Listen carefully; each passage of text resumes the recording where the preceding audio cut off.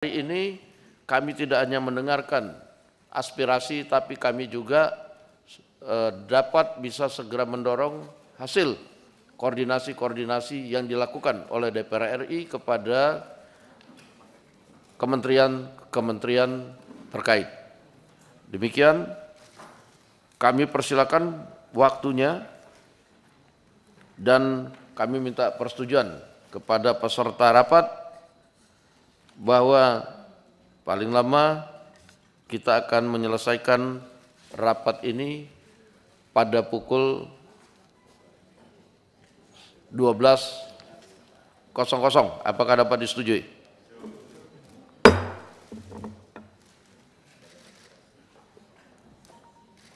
Untuk itu kami persilakan kepada koordinator untuk memberikan penjelasannya. Terima kasih atas kesempatannya pimpinan. Bismillahirrahmanirrahim. Rabbis rohli sodri wa yasirli amri walul ufdatam milisani yafqahu qawli. Allahumma sholli ala Sayyidina Muhammad wa ala ali Sayyidina Muhammad. Yang saya hormatin, yang kami hormatin serta muliakan pimpinan DPR RI dalam hal ini diwakili oleh Profesor Dr. Insinyur Sufmi Dasko Ahmad SHMH. Terima kasih Bang atas kesempatannya. Berikutnya juga Gus Kadir dan Pak Cucun. ya, Ini kepada DPR semua. Dr. Insinyur Adis Kadir SHMH. Berikutnya juga kepada eh, yang terhormat Abangdah Dr. Haji Cucun Ahmad Syamsur Rizal. Berikut dengan anggota-anggota Komisi 3 yang saya lihat di sini tampak inspirasi kami Pak. Sebelum saya jadi hakim ini saya di LBH. Salah satu inspirasi kami ini ada Bang Suding Pak. Itu dari LBH Makassar, itu menginspirasi kami yang muda-muda Pak. Berikutnya juga ada Pak Wayan dan Wakil DPR dari Aceh, Pak Degam. Terima kasih Pak Degam. Berikut yang tidak kami hormati, yang memperantarai kami sehingga rapat ini bisa terlaksana. Abangda kami, Bang Habibur Rahman Bang. Terima kasih ya Bang ya. Sebelum kami masuk ke eh, materi Bang, izinkan kami memperkenalkan diri. Kami merupakan solidaritas Hakim Indonesia. Dalam hal ini saya sendiri sebagai koordinator. Sebelah kanan saya Pak Yusran, koordinator juga. Berikut lagi Pak Aji Prakoso, koordinator. Pak Yosito samping saya sebagai sekretaris. Dan Pak Fauzan sebagai juru bicara. Kalau sering diliput media yang tampil ini Pak Fauzan Pak. Jadi kalau misalnya nanti pemilu bisa jadi dia terpilih kalau dia keluar dari hakim Pak. Sebenarnya Bang Dasko, Pak yang terhormat Pak Dasko,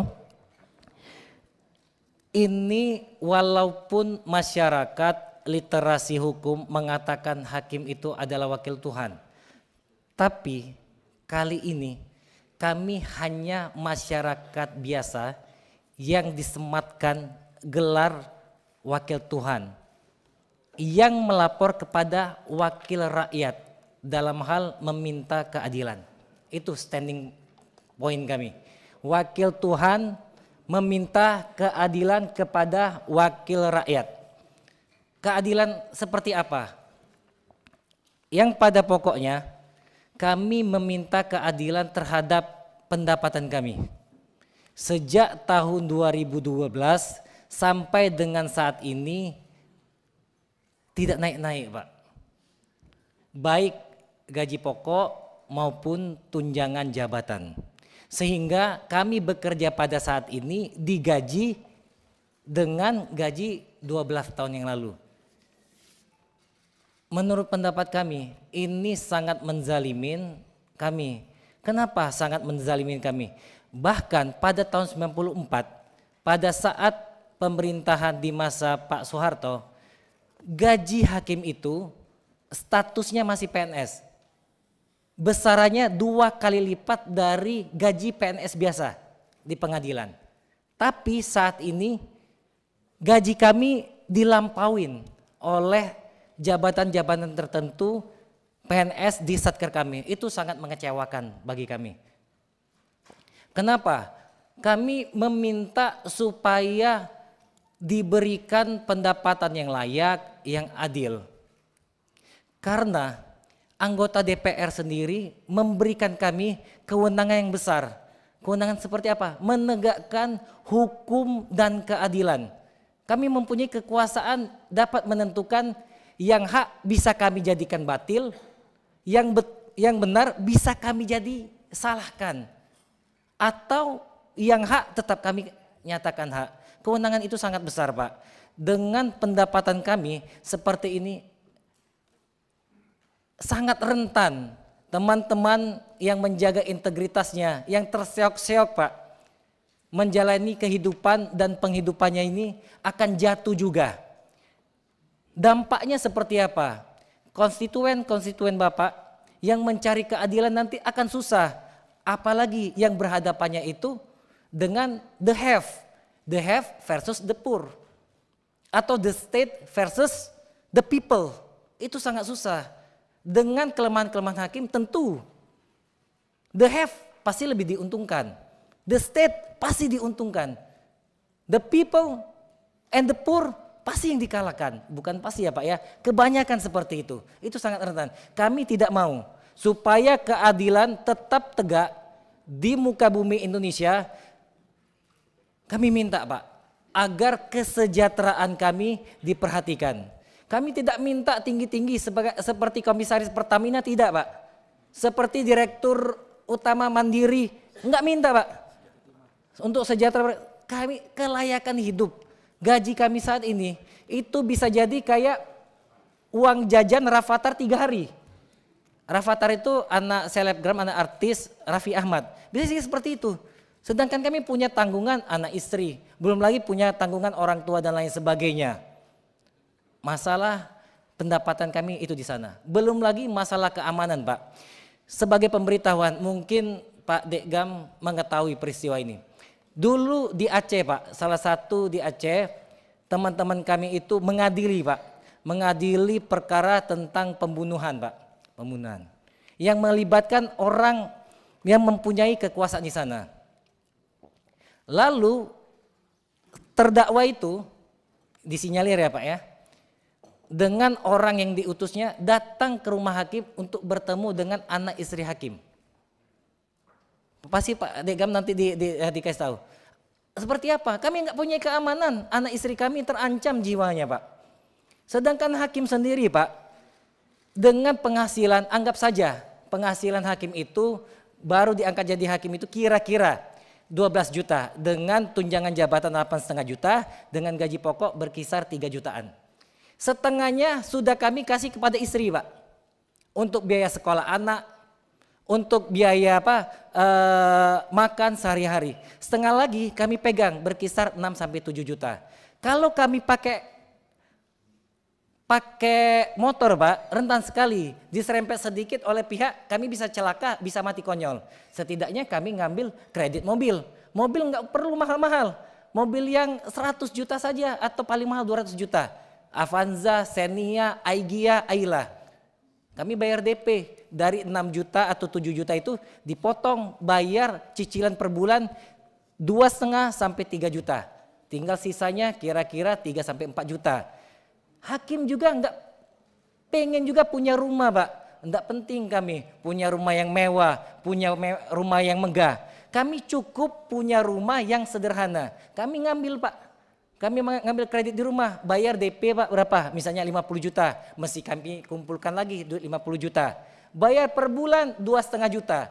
Habis Pak gaji kami. Kami nggak bisa balik mudik ke kampung. Saya orang besar di Sumatera Selatan Pak. Bapak saya orang Palembang, mak saya orang Minang Pak. Setiap balik saya ke Sumatera Selatan, penempatan saya di Aceh. Kalau naik pesawat kira-kira habis duit 15 sampai 21 juta anak satu sampai saat, eh, sebentar lagi anak saya dua pak nambah lagi. Kalau naik mobil pak perjalanan itu hampir 4 sampai 5 hari total balik pergi habis kira-kira 12 juta. Dari mana duit itu pak? Sedangkan duit per bulanan kami saja sudah habis. Belum lagi masalah kesehatan pak. Masalah kesehatan ini sudah ditentukan di PP 94. Kami mempunyai hak kesehatan hanya saja belum maksimal. Hampir tidak berbeda dengan BPJS, Pak. Kami dikasih asuransi, Pak.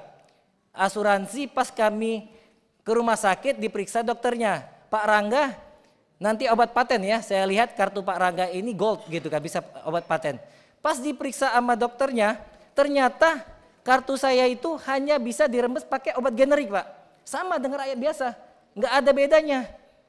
Ngapain kami harus dapat asuransi itu? Mending asuransi itu masuk rekening buat beli susu anak saya Pak. Ya kami tetap pakai BPJS saja. Nah itu. Belum lagi fasilitas Pak di internal kami. Nomenklatur kami berbeda dengan APH lain. APH lain mempunyai nomenklatur sendiri. Tapi nomenklatur kami sebagai pejabat negara di Undang-Undang ASN maupun Undang-Undang Kehakiman. Hampir sama dengan Pak Cucun, hampir sama dengan Pak Wayan, hampir sama dengan Pak apa uh, Bupati, dengan Pak Gubernur. Tapi Pak, kami tidak punya mobil dinas. Diprioritaskan mobil dinas di kantor kami itu siapa Pak? Pimpinan, ketua, wakil, Habis itu panitra sekretaris. Sedangkan panitra sekretaris itu tidak ada nomenklatur sebagai pejabat negara, hanya PNS. Bayangkan saja Pak, hakim teman saya Pak, ada yang naik sepeda Pak, naik motor. Sedangkan panitra dan sekretarisnya naik mobil. Bagaimana? Kami tidak iri Pak. Kami pengennya kalau bisa semua pegawai pengadilan itu termasuk yang pegawai administrasinya dapat mobil semua. Pengennya saya kami seperti itu. Tapi jangan timpang. Yang ini dapat, kami nggak dapat, Pak. Nah, kegundahan, kegelisahan kami itu rasanya mendapat angin segar, mendapat air seperti di padang pasir yang gersang itu, Pak. Mendengar pidatonya presiden terpilih, Pak Prabowo Subianto. Kalau tidak salah itu disampaikan di Muhammadiyah. Pak Prabowo mengatakan, negara yang kuat negara yang maju harus hakimnya itu sejahtera. Dia mencontohkan dengan dua negara. Satu dia contohkan dengan negara Amerika Serikat dan Inggris. Di Amerika, di Inggris bahkan ketua Mahkamah Agungnya, Supreme Courtnya Pak. Fasilitas dan rumahnya melampaui Prime Ministernya, melampaui presidennya. Kenapa? Supaya dia tidak bisa diintervensi. Supaya dia apa? Tidak bisa gampang jatuh dengan tawaran-tawaran dolar ditawarkan oleh para pihak supaya integritas terjaga dan amanah dari bapak-bapak ini agar kami menegakkan hukum dan keadilan itu tercapai. Nyatanya, Pak, nyatanya di kementerian-kementerian lain mungkin mungkin saja saat ini sudah berubah. Pandangan mereka memandang hakim itu bukan pejabat negara, sama dengan pegawai kelurahan tanpa saya mendiskreditkan pegawai kelurahan. Pegawai kelurahan itu mulia, PNS juga bagus. Tapi statusnya beda, kami pejabat negara. Disamakan dengan PNS biasa. Bayangkan saja Pak Dasko. Pak Adis Kadir, Pak Cucun, Bapak pimpinan DPR, pejabat negara status. Tapi ada pegawai sekretariat yang take home pay-nya melampaui Bapak. Bagaimana perasaan Bapak? Itu yang terjadi Pak. Dampak dari hal itu semua Pak, banyak hakim Pak, bukan banyak ada, yang mutasi ke instansi lain. Ada juga yang berhenti jadi hakim, kembali lagi jadi pengacara. Ada juga apa? Akhirnya pisah dengan istrinya. Kenapa? Karena suatu hal dan keadaan dia tidak bisa nyatu tinggal dengan istrinya. Kalau dia gunakan gajinya untuk bolak-balik ke luar kota, bakal habis Pak. Akhirnya pisah. Hal-hal seperti itulah Pak yang kami hadapin. Nanti jelasnya teman-teman kami akan paparkan apa yang mereka alamin. Nah untuk itu kami mohon, kami mohon kepada bapak-bapak sekalian, kepada wakil rakyat. Kami mohon kami sebagai wakil Tuhan ini untuk diperjuangkan haknya. Ke mana lagi Pak? Kami mencari keadilan. Ini bukan langsung atau ujuk-ujuk kami ke sini. Kami sudah memperjuangkan ini bertahun-tahun. Dari senior-senior kami, Pak, dari eksponen. Dulu hakim progresif. Kami sudah memperjuangkan, baik di internal maupun di eksternal. Rasa-rasanya itu, Pak. Rasa-rasanya itu seperti gayung tak bersambut. Pada saat kami kontak Habib Bang Habibur Rahman, Bang Habib, tolong Bang, kami rencanakan untuk ketemu Komisi 3 yang bersurat ke kami Bang Sufmi Ahmad Dasko, Profesor Insinyur Haji Ahmad Sufmi Dasko. Kami sangat senang. Kenapa? Karena yang tanda tangan Bapak, perasaan kami, kegembiraan kami Pak. 50% perjalanan perjuangan kami ini selesai Pak. Terima kasih.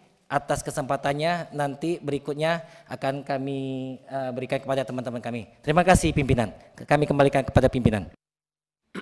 Baik, terima kasih. Ada yang lain? Pes. Izin izin pimpinan. Kalau mau menambahkan silakan. Izin pimpinan. Assalamualaikum warahmatullahi wabarakatuh. Ini saya harus kemukakan pimpinan, perkenalkan terlebih dahulu nama saya Justran Pandi, saya dari Pengadilan Agama Tanjung Pandan dan kami yang hadir sini sudah mewakili dari seluruh, seluruh elemen. Uh, izin pimpinan, izin para anggota dewan, kami di sini kalau suara kami agak tinggi, mohon maaf, bukannya kami mau berdebat dengan para pimpinan di sini. Bukan kami mau berdebat dengan para anggota di sini. Kami di sini datang sudah menunggu 12 tahun. Kami di sini sudah menunggu enam tahun. Kami datang ke sini adalah jalan terakhir kami, Pak. Jalan terakhir kami. Kami sudah menunggu, kami sudah melakukan pendekatan-pendekatan kepada stakeholder tentang permasalahan ini. Permasalahannya sepele. Kami digaji tanpa dasar hukum. Kami hakim, Pak.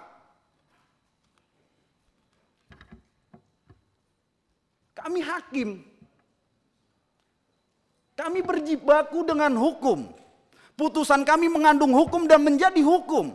Tapi gaji kami tanpa dasar hukum. Saya jelaskan, sekali lagi saya mohon maaf. Kami bersuara tinggi bukan mau apa, tapi ini rasa kece kekecewaan kami sudah menunggu. 12 tahun tanpa penyesuaian dan 6 tahun kami digaji tanpa dasar hukum. Kita bangsa yang besar. Negara ini negara yang besar. Sesuai dengan pasal 1 ayat 3. Negara Indonesia adalah negara hukum. Tapi siapa yang mau bertanggung jawab? Selama lima tahun kami makan apa? Lima tahun lebih kita ini kekecewaan kami Pak. Kami mau menjelaskan sedikit kenapa kami itu mengatakan kalau kami itu makan eh, apa menerima gaji tanpa dasar hukum. Yang pertama kami mau menjelaskan sedikit yang sudah disinggung oleh koordinator tadi.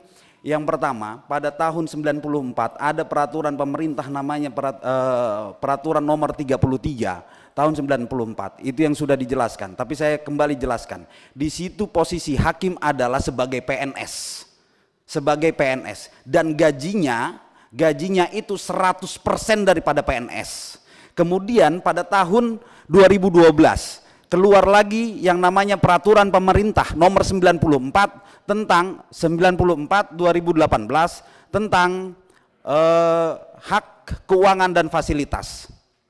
Karena ini di sini melanggar, makanya ada dari para eksponen yang juga hadir pada saat itu melakukan uji material, uji material, kemudian putusan dari uji material menyatakan bahwa pasal 3 ayat 2, 3 dan 4 dan ayat 11, 11A sampai dengan 11E tidak mempunyai kekuatan hukum yang mengikat.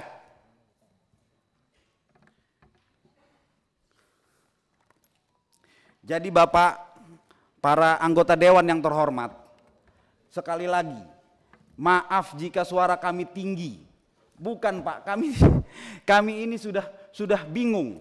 Kami ini sudah mentok Pak, di ubun-ubun Pak. Sampai kapan lagi kami makan gaji yang tanpa dasar hukum Pak? Negara kita negara hukum Pak. Pusing kami. Kami sudah ngadu ke mana-mana. Ini makanya kami katakan sekali lagi, ini adalah langkah kami yang betul-betul kayaknya mendapatkan angin segar. Angin segar bukan berarti kami cuma mau minta kesejahteraan, Pak. Ini rasa dari kekecewaan kami yang sudah lama menunggu, Pak. Rasa kekecewaan kami. Betul-betul rasa kekecewaan kami. Terakhir, Pak, dari kami,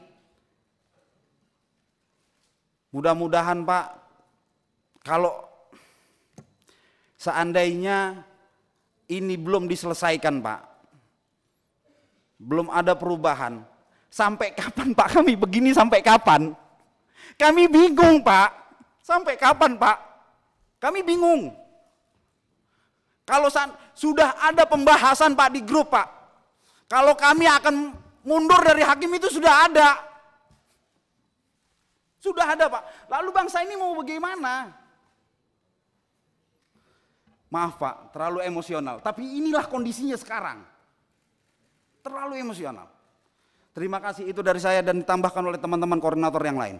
Assalamualaikum warahmatullahi wabarakatuh. Izin pimpinan menambahkan yang terhormat Profesor Sufmi Dasko, yang terhormat juga Pak Adis Kadir, Pak Cucun. Perkenalkan nama saya Aji Prakoso. Saya hakim dari Pengadilan Negeri Sampang, Madura jauh-jauh ke sini, mohon maaf kalau suara saya bergetar. Jauh-jauh ke sini kami ingin menghubungkan suara rekan-rekan hakim yang ada di penjuru seluruh Indonesia. Hari ini saya sampaikan bahwa telah 12 tahun negara abai terhadap kondisi hakim. Tidak hanya bicara soal kesejahteraan yang terabaikan, ada juga hak-hak lain yang tidak dipenuhi oleh negara. Salah satunya adalah hak keamanan, hak atas jaminan keamanan. Tadi sudah banyak dijelaskan oleh rekan kami, rekan Rangga, rekan Jusran Bapak. Saya menambahkan bahwa kondisi hakim hari ini ekonominya berada di ujung tanduk. Berada ditugaskan di penjuru-penjuru Indonesia. Bukan kami tidak suka terhadap hal tersebut Bukan kami meminggirkan hal tersebut, tidak. Sejak kami dilantik di awal, kami bersedia untuk ditempatkan di seluruh penjuru Indonesia. Menjadi pintu gerbang terakhir untuk memberikan rasa keadilan kepada masyarakat. Tapi kondisi inflasi selama 12 tahun, negara tidak hadir di sana. Saya menyampaikan Bapak kondisi teman-teman, saya ambil contoh saja, ada rekan saya Ervan, berada di Kepulauan Buru, Maluku, rumahnya, home base-nya ada di Gresik, Jawa Timur. Dengan membawa istri dan dua orang anak untuk pulang kampung saja mungkin harus menahan diri 3 sampai 4 tahun. Begitupun saya. Sebelum di Madura saya ditugaskan di salah satu kabupaten di Provinsi Jambi, di Tanjung Jabung Timur. Orang tua istri saya meninggal, Pak. Kami tidak bisa hadir di pemakamannya. Dan ini tidak cerita saya saja. Ini cerita rekan-rekan saya yang lain juga seperti ini. Memang di dalam persidangan kami sering disampaikan, saudara yang mulia, pimpinan majelis hakim yang mulia. Tapi pada prinsipnya kami juga seorang manusia biasa.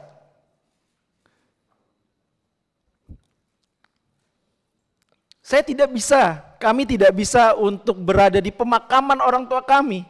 Saya harus menghibur orang istri saya karena orang tuanya meninggal. Ya orang tua saya juga. Dan menyampaikan permohonan maaf bahwa kita tidak bisa pulang ke Denpasar pada saat itu.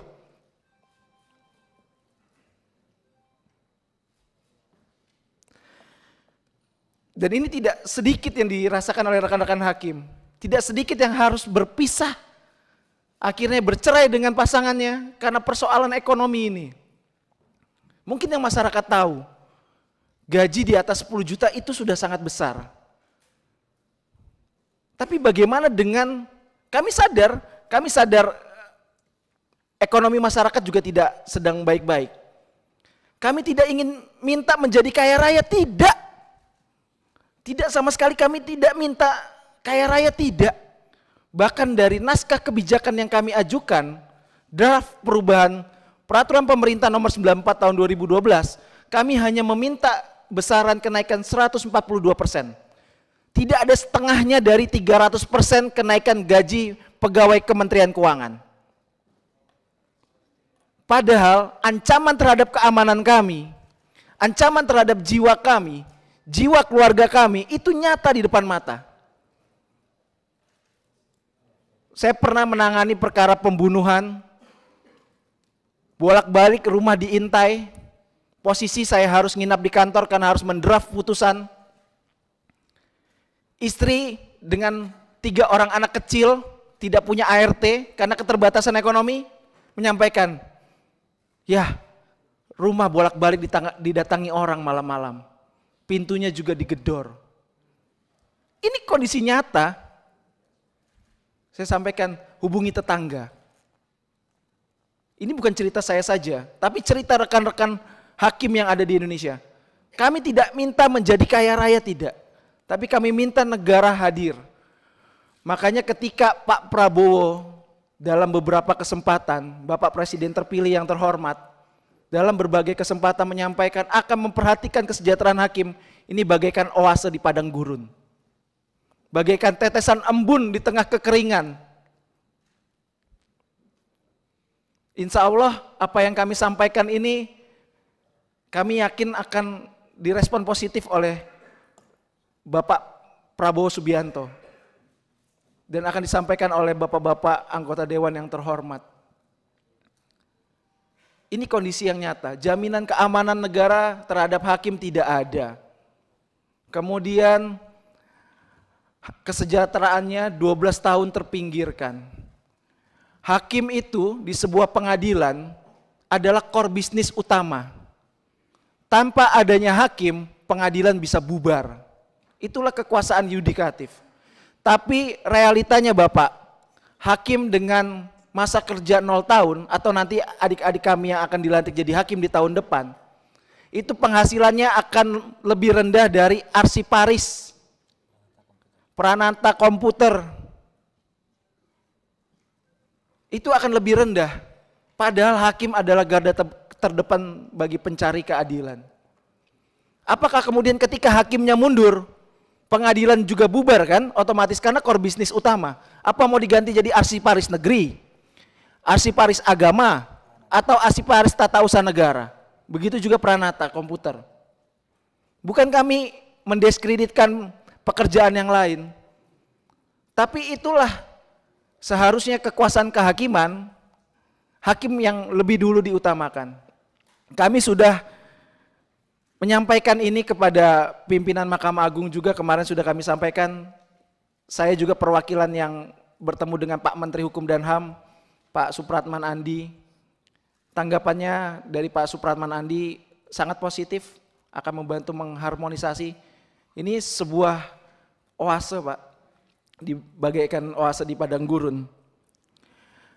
Kemudian lagi saya sampaikan bahwa tadi sudah dijelaskan hakim ini sebenarnya mohon maaf, jenis kelaminnya apa?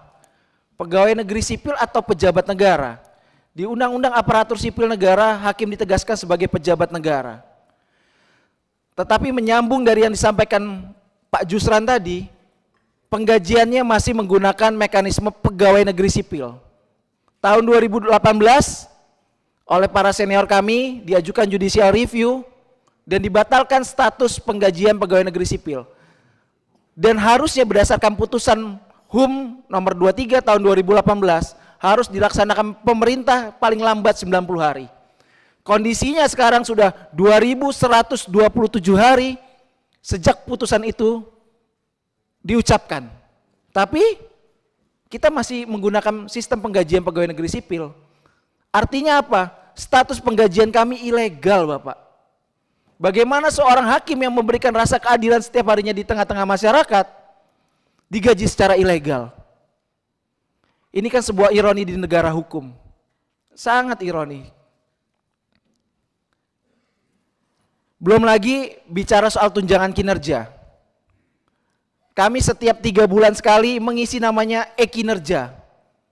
Tapi ternyata tidak dapat tunjangan kinerja Bapak. Alasannya karena pejabat negara. Tapi toh Bu Menteri Keuangan dapat tunjangan kinerja. Atau menteri-menteri yang lain. Ngisi e-kinerja tapi tidak dapat tunjangan kinerja. Sungguh sangat apa ya, ironi sekali. Kalau Bapak uh, Prof Dasko mungkin ke daerah, Pak Adis Kadir ke daerah, Pak Cucun ke daerah atau bapak-bapak ibu anggota dewan lain ke daerah, pasti ketika ke pengadilan khususnya, pasti ini yang akan sama jeritan hatinya. Kalaupun ini dibuka secara Zoom, pasti akan banyak pertanyaan atau keluh kesah yang disampaikan. Karena pada sejatinya wakil Tuhan hanyalah apa ya, di persidangan saja. Di sini kami tetap masyarakat biasa yang butuh pertolongan dari para wakil-wakil rakyat kami. Semoga aspirasi kami menjadi didengar ya, didengar dan direalisasikan. Itu saja. Terakhir. Uh, izin pimpinan, satu lagi pimpinan apabila diperkenankan, silakan. Tes. Bismillahirrahmanirrahim. Assalamualaikum warahmatullahi wabarakatuh. Pimpinan yang saya hormati, seluruh uh, anggota Komisi 3 yang lalu yang saya hormati, saya hanya uh, akan melengkapi hal-hal yang belum tersampaikan oleh koordinator. Pertama, pimpinan yang saya hormati, solidaritas aksi eh, solidaritas hakim Indonesia itu melakukan aksi cuti bersama seluruh Indonesia dari tanggal 7 sampai tanggal 11. Hari ini rekan-rekan hakim yang datang dari seluruh daerah di Indonesia berkisar 148 orang. Jadi walaupun tadi pimpinan sudah menetapkan dan atas persetujuan seluruh anggota sidang akan ditutup di jam 12, kami memohon pimpinan untuk tetap memberikan kesempatan kepada teman-teman kami yang juga hadir di belakang dari berbagai daerah di Indonesia untuk didengarkan suaranya pimpinan. Kehadiran mereka hari ini menggunakan dana tabungan yang sudah lama mereka simpan. Beberapa rekan-rekan kami yang tidak memiliki rejeki ke Jakarta saat ini melakukan aksi ambil cuti hak tahunannya berdiam diri di rumah Sebagian lagi yang sudah kehabisan hak cuti dalam bentuk solidaritas mengosongkan jadwal sidang dari tanggal 7 sampai tanggal 11. Kemudian bagi rekan-rekan yang sudah menjadwalkan persidangan ataupun ada kasus-kasus yang penting untuk diselesaikan, kami dorong untuk juga segera diselesaikan. Pimpinan yang saya hormati, kami ucapkan terima kasih terkhusus kepada seluruh anggota Komisi 3. Kami perhatikan yang mulia semua dari berbagai rapat dengar pendapat yang dilakukan yang kami selama ini saksikan di YouTube. Banyak sekali cerita-cerita kami yang sudah disuarakan. Kami terima kasih. Saya teringat cerita Bang Habib yang beliau kehilangan sahabatnya hakim yang meninggal di kos-kosan. Bang Habib tentu pasti tahu bagaimana realita hakim yang paling terdampak hari ini adalah hakim-hakim yang berada di kelas 2 daerah. Kemudian juga saya teringat juga cerita Bang Habib. Ini bukan karena Bang Habib partai pemenang Bang Habib terus, tapi saya sangat tersentuh dengan cerita beliau. Di mana mahasiswa hukum terbaik yang hari ini sekolah di Universitas Indonesia, ketika ditanya dosen, mau jadi apa setelah sarjana? Tidak ada yang mau jadi hakim yang mulia. Tidak ada yang mau jadi hakim. Semua lebih memilih profesi lain. Karena memang sudah jadi rahasia umum. Kami yang paling terdampak di pengadilan kelas 2 pimpinan yang saya hormati dan seluruh anggota dewan, ini seperti menjadi rutinitas, Pak. 12 tahun sekali hakim harus teriak-teriak haknya baru didengarkan. 2012 yang lalu, para senior kami yang hadir juga menyuarakan tentang ini. Tahun ini begitu juga. Apakah 12 tahun yang akan datang juga seperti ini juga? Adik-adik kami nanti di generasi hakim berikutnya. Ini menjadi poin penting untuk diambil kebijakan yang bijaksana. Pimpinan yang saya hormati, judulnya hari ini para pengadil mencari keadilan yang mulia. Ini adalah perjuangan yang kami lakukan untuk memperjuangkan hak kami tanpa mengganggu hak-hak masyarakat pencari keadilan.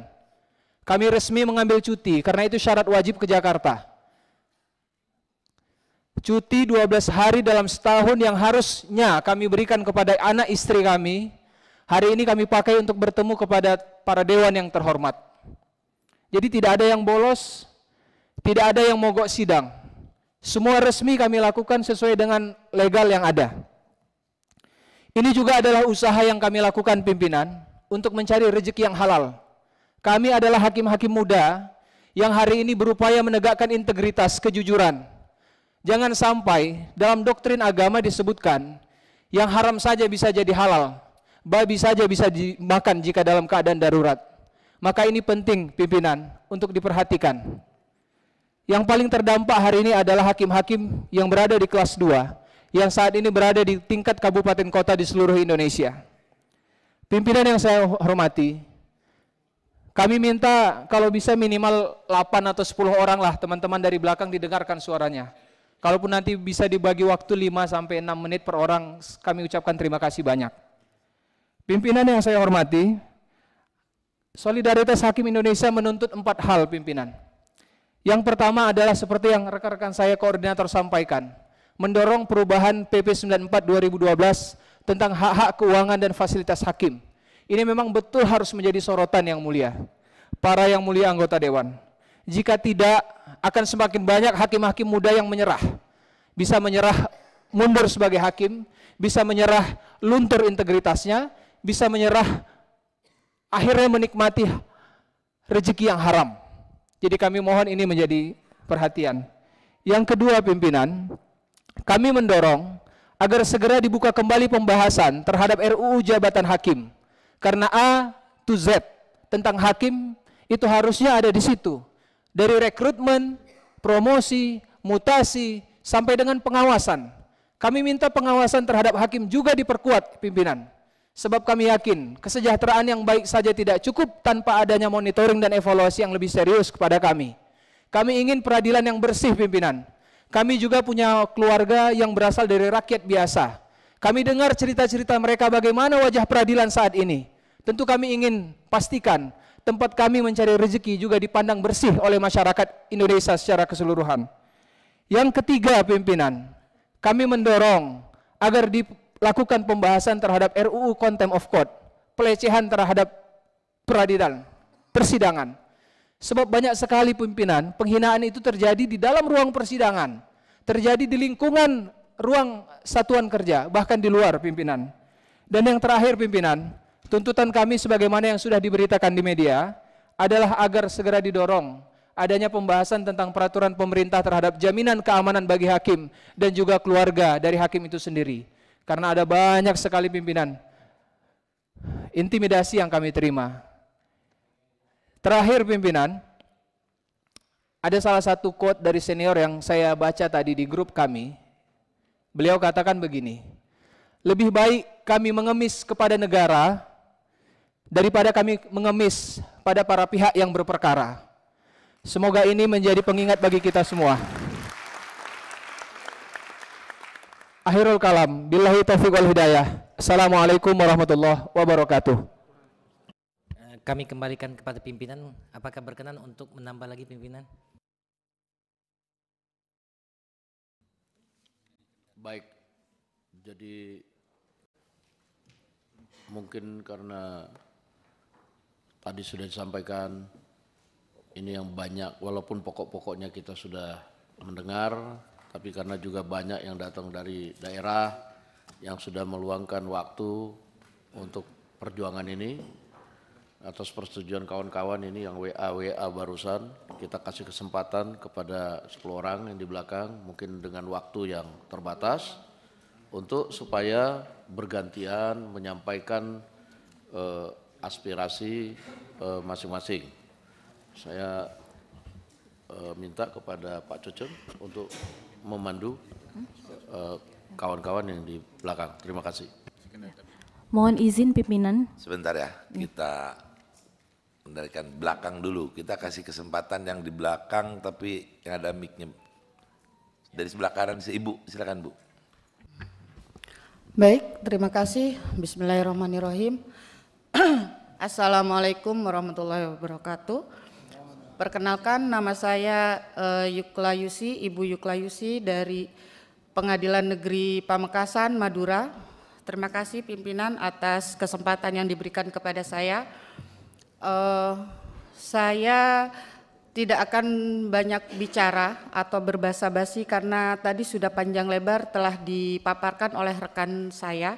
Saya hanya ingin uh, me mempertanyakan atau meluapkan rasa eh, penasaran saya. Saya adalah seorang ibu dari empat orang anak yang eh, saat ini sedang berjuang bersama teman-teman untuk memperjuangkan keseja- kesejahteraan kami yang selama 12 tahun eh, tidak terpenuhi.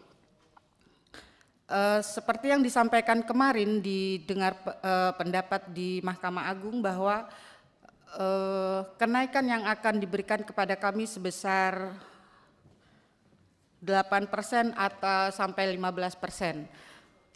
Jika dikalikan dengan gaji saya saat ini pimpinan, gaji pokok saya sebagai hakim 4 4A yang telah bekerja selama 15 tahun jika dikalikan dengan kenaikan yang sebesar 8% atau 15% itu sebesar 240 ribu. Selama 12 tahun kami menunggu apakah hanya sebesar 240 ribu yang akan diberikan kepada kami. Maaf pimpinan, bukannya kami ini tidak mensyukuri atau kufur nikmat atau apalah namanya. Semoga ini bukan eh, bentuk kezoliman negara yang diberikan kepada kami. Makanya mohon mohon izin kepada eh, pimpinan di DPR RI, mohon kiranya agar eh, dikaji ulang kenaikan gaji pokok atau tunjangan kami yang nanti akan disahkan. Terima kasih. Wassalamualaikum warahmatullahi wabarakatuh. Sebelah kiri, silakan Pak. Bapak Izin, yang ini, yang angkat tangan, silakan. Baik, terima kasih atas kesempatan yang telah diberikan yang terhormat para pimpinan dan anggota DPR RI. Perkenalkan, nama saya Bahara Ivanovski Stefanus Napitupulu. Saya merupakan hakim tingkat pertama pada Pengadilan Negeri Sanggau yang terletak di Kabupaten Sanggau, Provinsi Kalimantan Barat yang berbatasan langsung secara teritorial dengan negara bagian Sarawak, Malaysia. Adapun yang hendak kami sampaikan kepada yang terhormat pimpinan dan anggota DPR RI ialah eh, saya soroti mengenai eh, fasilitas perumahan daripada hakim, terutama kami yang ada di daerah ini. Saya pribadi eh, menjadi hakim di Pengadilan Negeri Sanggau sejak tahun 2020. Kita dapat fasilitas rumah dinas, akan tetapi yang sangat disayangkan adalah rumah dinas yang hendak kami tempati itu pertama tidak dalam keadaan layak. Kemudian ketika kami meminta kepada kantor kami untuk melakukan renovasi atau perbaikan, anggaran tidak ada. Sehingga kami harus merogoh kocek kami sendiri untuk melakukan renovasi. Itu yang pertama. Yang kedua, ketika kami menempati rumah dinas itu, selain rusak juga, ada juga eh, tidak ada atau tidak dilengkapi dengan furnitur seperti misalnya tempat tidur, kemudian meja dan lain sebagainya sehingga kami juga harus merogoh kocek pribadi untuk membeli itu semua. Nah, ket- eh, untuk saya pribadi ketika saya menempati rumah dinas itu, mohon maaf, gaji saya satu bulan sebagai hakim habis untuk melakukan renovasi, contohnya untuk melakukan perbaikan tandon air, karena di Kalimantan Barat itu kalau kemarau air susah, sehingga kita harus punya tandon, belum lagi beli tandon cadangannya, dan lain sebagainya, kemudian untuk memberi perabotan, satu bulan gaji saya habis. Karena untuk seperti sudah dikatakan rekan-rekan saya tadi bahwasanya hakim 0 tahun gaji pokok tidak sampai 3 juta, hanya sekitar 2,8 atau 2,9, tunjangan jabatan hanya 8 juta 500, sehingga totalnya sekitar 12 sampai 13 juta. Dan itu habis semua untuk itu. Kemudian kami pun menempati rumah dinas diwajibkan untuk membayar PBB, Kemudian juga kami dipotong 200 atau 300 ribu per bulan katanya untuk biaya sewa rumah dinas sehingga sesungguhnya kami tidak gratis menempati rumah itu. Kemudian juga pada beberapa bulan eh, bulan lalu kami di Sanggau ada acara dari eh, Festival Adat Melayu dan kemudian ada tamu dari Malaysia. Kemudian saya berkenalan dengan beliau. Ternyata orang Malaysia ini adalah dari pejabat pendidikan di dari eh, Kota Labuan di Sabah. Kemudian saya berkenalan dengan beliau, saya bawa jalan-jalan di Sanggau, beliau heran. Mohon maaf yang mulia, saya baru melihat bahwa seorang hakim mengemudi mobil. Karena di negara saya, hakim pasti punya supir dinas. Kemudian saya bawa jalan-jalan ke rumah dinas saya, belum saya kasih masuk ke dalam rumah, baru di depan rumah dinas, dia melihat rumah dinas kami, hakim-hakim Sanggau, dia menangis. Dan itu menangis di hadapan saya dan satu orang yang adalah keponakan Raja Sanggau. Dia menangis oleh karena melihat betapa mirisnya hakim yang ada di Indonesia, betapa minimnya fasilitas hakim di Indonesia. Sampai beliau mengatakan bahwa ini rumah dinas sudahlah tidak layak, kemudian dikelilingi oleh masyarakat. Apabila ada masyarakat yang berkonflik hukum di situ, kemudian dia kalah, dia dengan mudahnya akan uh, akan mengganggu ataupun mohon maaf seperti melemparkan bom molotov ke rumah yang mulia. Itulah kata beliau karena tidak ada security dan lain sebagainya. Itu yang yang uh, hendak kami soroti. Kemudian uh, selain daripada peningkatan kesejahteraan, uh, beberapa teman-teman di daerah juga menyuarakan agar jangan hanya kenaikan saja yang dipikirkan, akan tetapi juga ke depannya harus ada mekanisme yang jelas tentang kenaikan gaji dan tunjangan hakim secara berkala. Untuk apa? Supaya jangan lagi seperti rekan kami katakan tiap 12 tahun hakim harus turun, tiap 12 tahun hakim harus melakukan aksi sehingga gaji naik. Sehingga kalau ada e, kejelasan mengenai mekanisme kenaikan berkala itu yang tentu saja tidak menir, tidak meniru kenaikan gaji berkalanya PNS yang hanya 100 ribu setiap empat tahun sekali naik, itu pasti tidak akan menimbulkan atau tidak akan menjadikan hakim setiap 12 tahun sekali untuk turun menuntut haknya.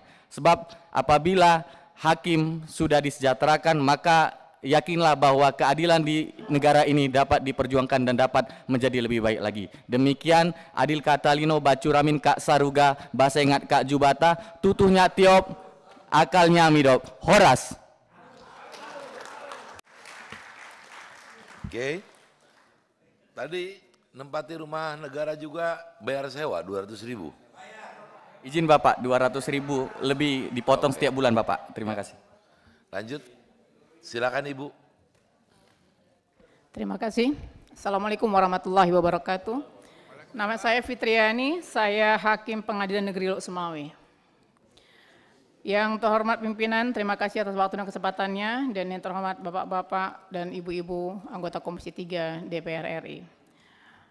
Saya hadir kemari dengan semangat, dengan harapan. Semangat akan harapan Bapak.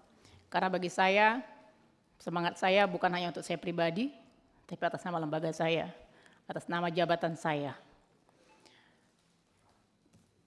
Seperti yang telah disampaikan tadi oleh eh, rekan-rekan juru bicara dan koordinator bahwa dari instansi kami atau tepatnya dari organisasi kami IKAHI telah mengajukan permohonan, kalau saya katakan permohonan, walaupun sebenarnya saya tidak suka IKAHI, hakim, jabatan hakim itu memohon.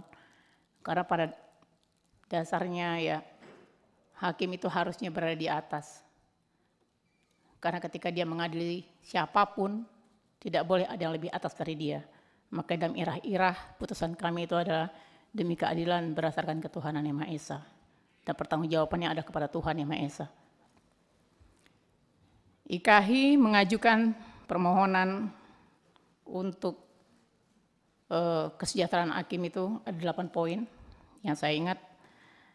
Yang diajukan itu 8 poin tapi yang disetujui oleh PAN RB itu hanya 4. Yaitu tentang gaji pokok, tunjangan hakim, pensiun, dan tunjangan kemahalan.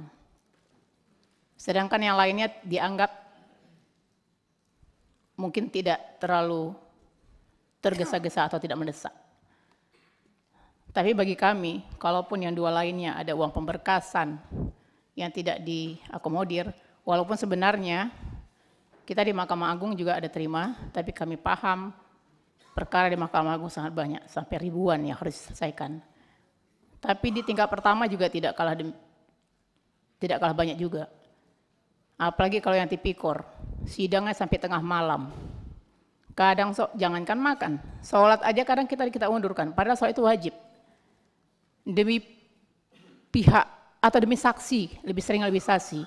Karena saksi ini tipikor itu ada di ibu kota provinsi, yang datangnya dari kabupaten yang jauh. Misal kalau kami di Aceh itu, sidang tipikor itu di, di PN Banda Aceh. Saksinya dari Singkil, Jauh Pak dari Singkil itu ke mana Aceh. Dari Semelu atau Sinabang. Jauh Pak. Kalau yang masih di daratan, ya Singkil lah, Tapak Tuan. Itu yang jauh, tidak dekat. Kalau sampai malam lah hakim itu harus berperkara, harus memeriksa perkaranya dengan berkas yang tebalnya. Mungkin kalau kotak satu rim kertas itu bukan satu kotak, berkotak-kotak tebalnya. Kalau saya berdiri mungkin ada yang setinggi saya, saya 150 cm. Ada yang sebegitu, saya jadi mikir bagaimana cara bacanya. Dan itu waktunya ditentukan, nggak boleh setahun selesai. Yang pidana itu lima bulan itu harus empat bulan itu harus selesai. Dan hari itu diputus, hari itu harus sudah dipublish. Publik bisa langsung melihatnya di di putusan. Dan itu beban kerja sangat berat Bapak. Tapi uang pemberkasan tidak ada. Oke lah, kalau uang pemberkasan tidak ada. 2012 itu dengan gaji yang telah disampaikan, hakim itu sebelumnya disamakan dengan PNS. Selain gaji pokok dan tunjangan lainnya, yang tetap ada juga, diberikan remunerasi.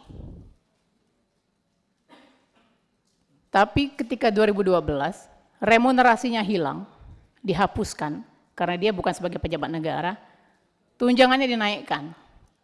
Digabungkanlah tunjangan itu, tidak ada remunerasinya lagi. Dan remunerasi dan tunjangan itulah yang kami anggap sebagai uang lembur kami. Karena jabatan itu tugas fungsi kami untuk menyelesaikan perkara itu itulah dia uang lemburnya. Karena jabatan. Kemudian kesehatan. Pernah tidak dibayangkan ketika seorang hakim harus seruangan dengan pihak berperkara. Syukur-syukur pihak berperkaranya yang dimenangkan. Mungkin sendal kita pun mau dia pindahkan. Tapi kalau ternyata pihak berperkara itu ada orang yang kalah atau perkara kriminal yang bagaimana atau pembunuhan misalnya atau segala macam, apakah hakim itu akan dijamin di ruangan itu tidak di kalau bahasa saya ini nggak digimbal gitu loh. Sampai sebegitunya Bapak. Di luar yang tadi disebutkan, ada yang datang ke rumah dinas saya pernah didatangin ada yang ditelepon atau apa. Nah kalau ini mungkin keadaan rumah dinas yang prihatin karena saya tidak di Aceh dan itu tempat yang saya ketahui yang bisa saya sampaikan.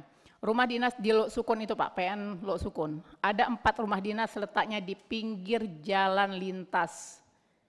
Kalau ternyata ada pihak yang berperkara di sana tidak senang, lempar bom molotov hilang Pak, larinya nggak tahu ke mana, apakah ke Medan kah dia, apakah ke arah Banda Aceh kah dia, entah di mana lah hilangnya. Anda tahu tuh Pak nyarinya. Apa yang terjadi dengan hakim? Ya begitulah Pak. Kalau segi keamanan, segi kesehatan itu tadi juga saya sampaikan. Paskas di kelas 2 itu puskesmas. Dia harus antri dengan masyarakat. Oke, kita bilang kalau antri dengan masyarakat biasalah itu. Namanya kita juga hidup bermasyarakat. Tapi kalau ternyata dia hidup berhadapan lagi dengan pihak berperkara, Hal-hal yang demikian kan susah itu Pak. Kemudian yang tadi sampaikan kita asuransi cuma yang di cover hakimnya saja. Keluarga kita bagaimana? Kan harus dipikirkan juga. Kemudian saya harus sampaikan bahwa kami di sini datang bukan hanya berbicara tentang angka-angka, tapi juga tentang apa yang disebut dengan hak yang ditentukan oleh peraturan perundang-undangan yang menjadi hak kami. Memang kalau di media sosial Pak, sekarang ini saya sangat sedih ketika ada komentar dari beberapa masyarakat, tapi kami paham itu, sangat paham sekali. Mengatakan, udah ngapain hakim itu, minta-minta naik gaji hakim, banyak masyarakat. Kalau nggak mau jadi hakim, mundur saja. Banyak yang fresh graduate yang pengen jadi hakim.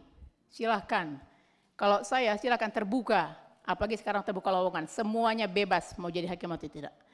Karena setiap siapa pun yang di dunia ini, apakah jadi hakim atau bukan, kalau bagi bagi saya jadi hakim itu, saya sendiri memang tidak pernah merencanakan pengen jadi hakim Bapak.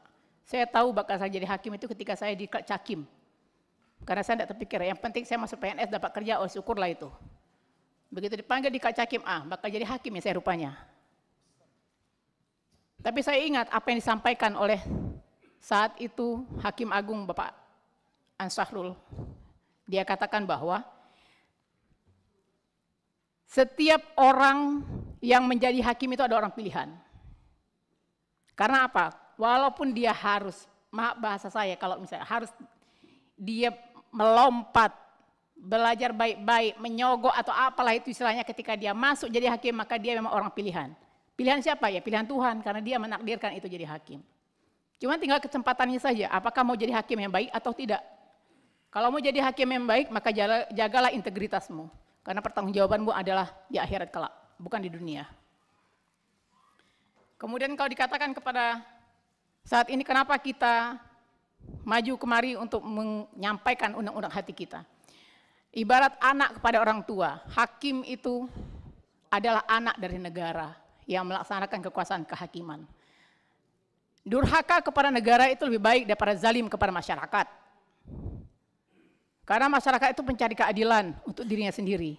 Kalau kita zalim, nilai dosa zalim itu lebih besar daripada nilai durhaka.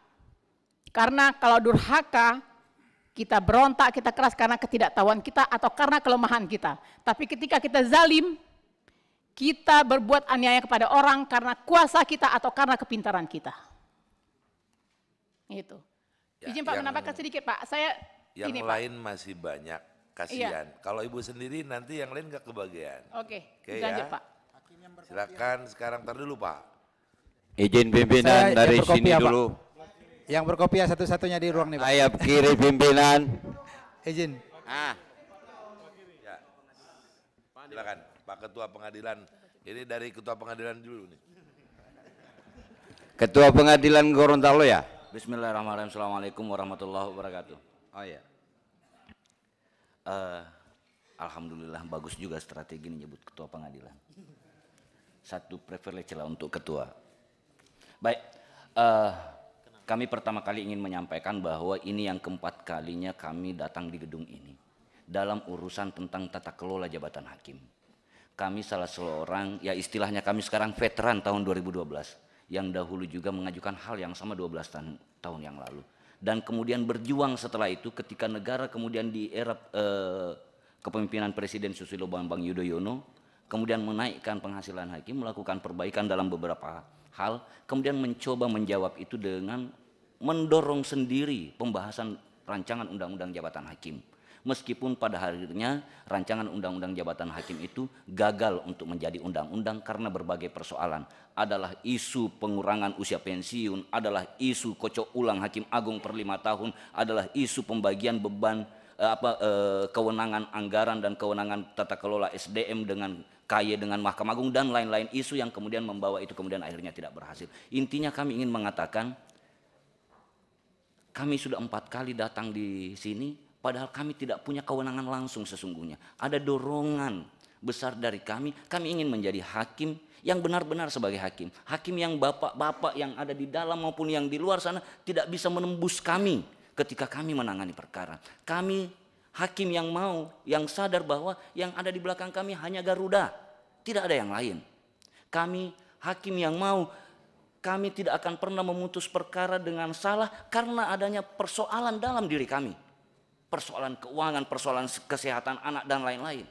Kami datang di sini karena dorongan itu.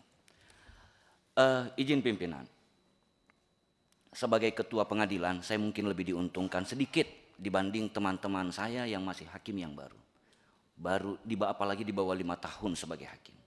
Tapi saya sebagai ketua pengadilan melihat langsung bagaimana mental mereka terpuruk dengan berbagai persoalan khususnya terkait dengan keuangan pimpinan. Di pengadilan itu ada hakim, ada pegawai non hakim. Pada tahun 2012, penghasilan hakim itu diperbaiki. Ada beberapa kenaikan. Alhamdulillah, hakim pada saat itu merasa mendapatkan kedudukan dan harkat dan martabat yang sesungguhnya. Namun, dalam 12 tahun terakhir, karena pemisahan pengaturan tentang penggajian dan tunjangan dengan pegawai negeri di pengadilan, pegawai negeri pengadilan mengalami kenaikan sudah dua kali, hampir saja tiga kali. Apa akibatnya?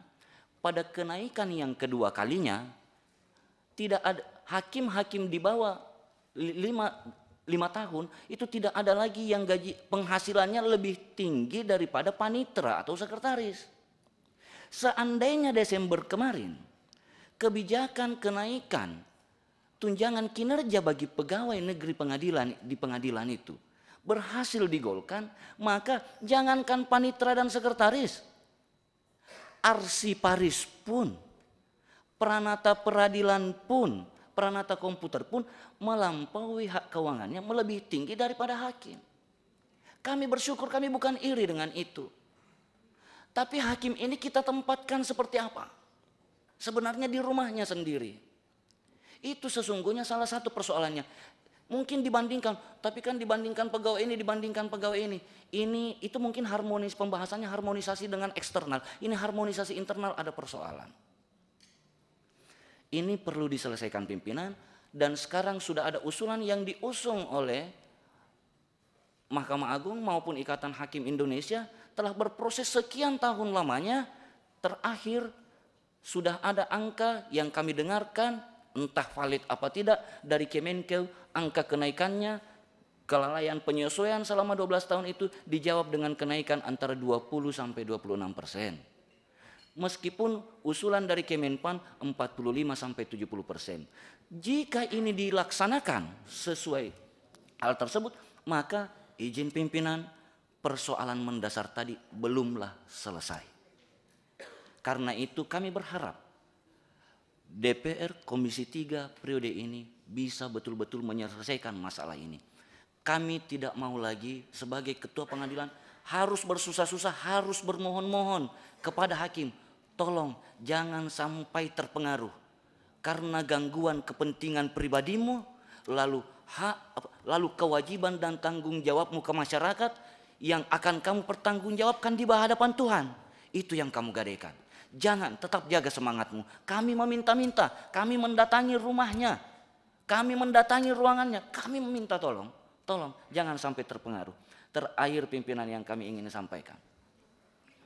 Saya pemohon pengajuan permohonan hak uji material perkara nomor 23 P HUM tahun 2018 meminta supaya peraturan gaji hakim pada peraturan pemerintah nomor 94 tahun 2012 dibatalkan karena mempersamakan gaji hakim gaji hakim adalah sama dengan gaji pegawai negeri sipil.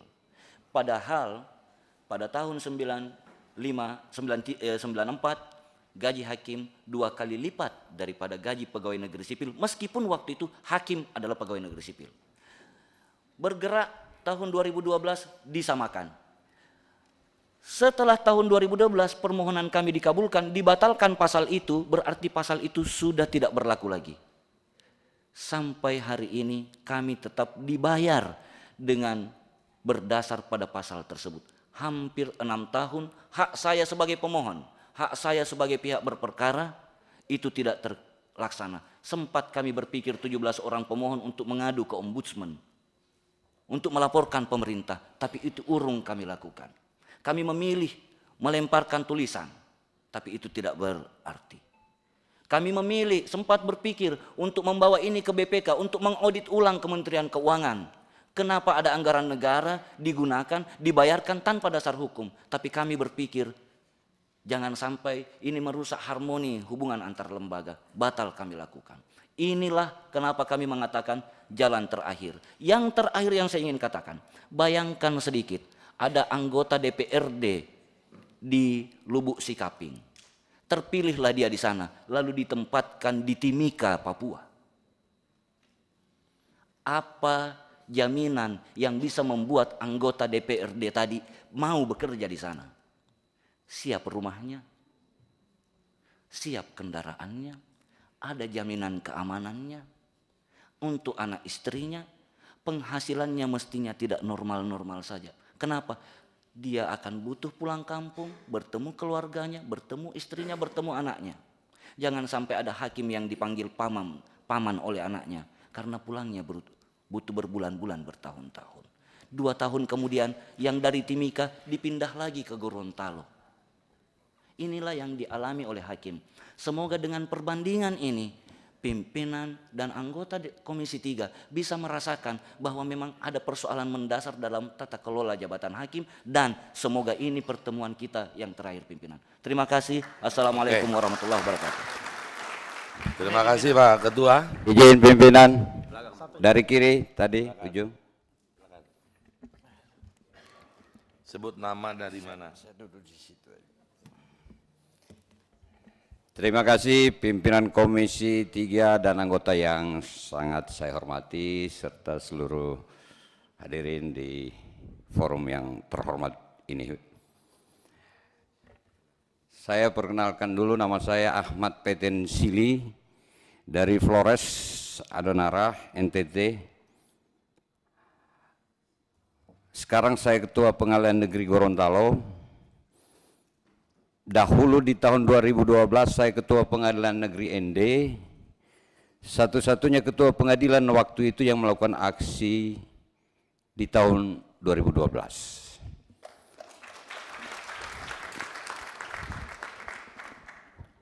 Waktu itu sebenarnya saya sudah ditunggu sama Pak Ahmad Yani di sini melalui TV One tetapi karena saya kedatangan tamu seorang ketua muda Mahkamah Agung waktu itu ke ND, beliau beralasan beliau sangat penting, akhirnya saya tidak bisa datang ke gedung yang terhormat ini. Dan saya ikuti.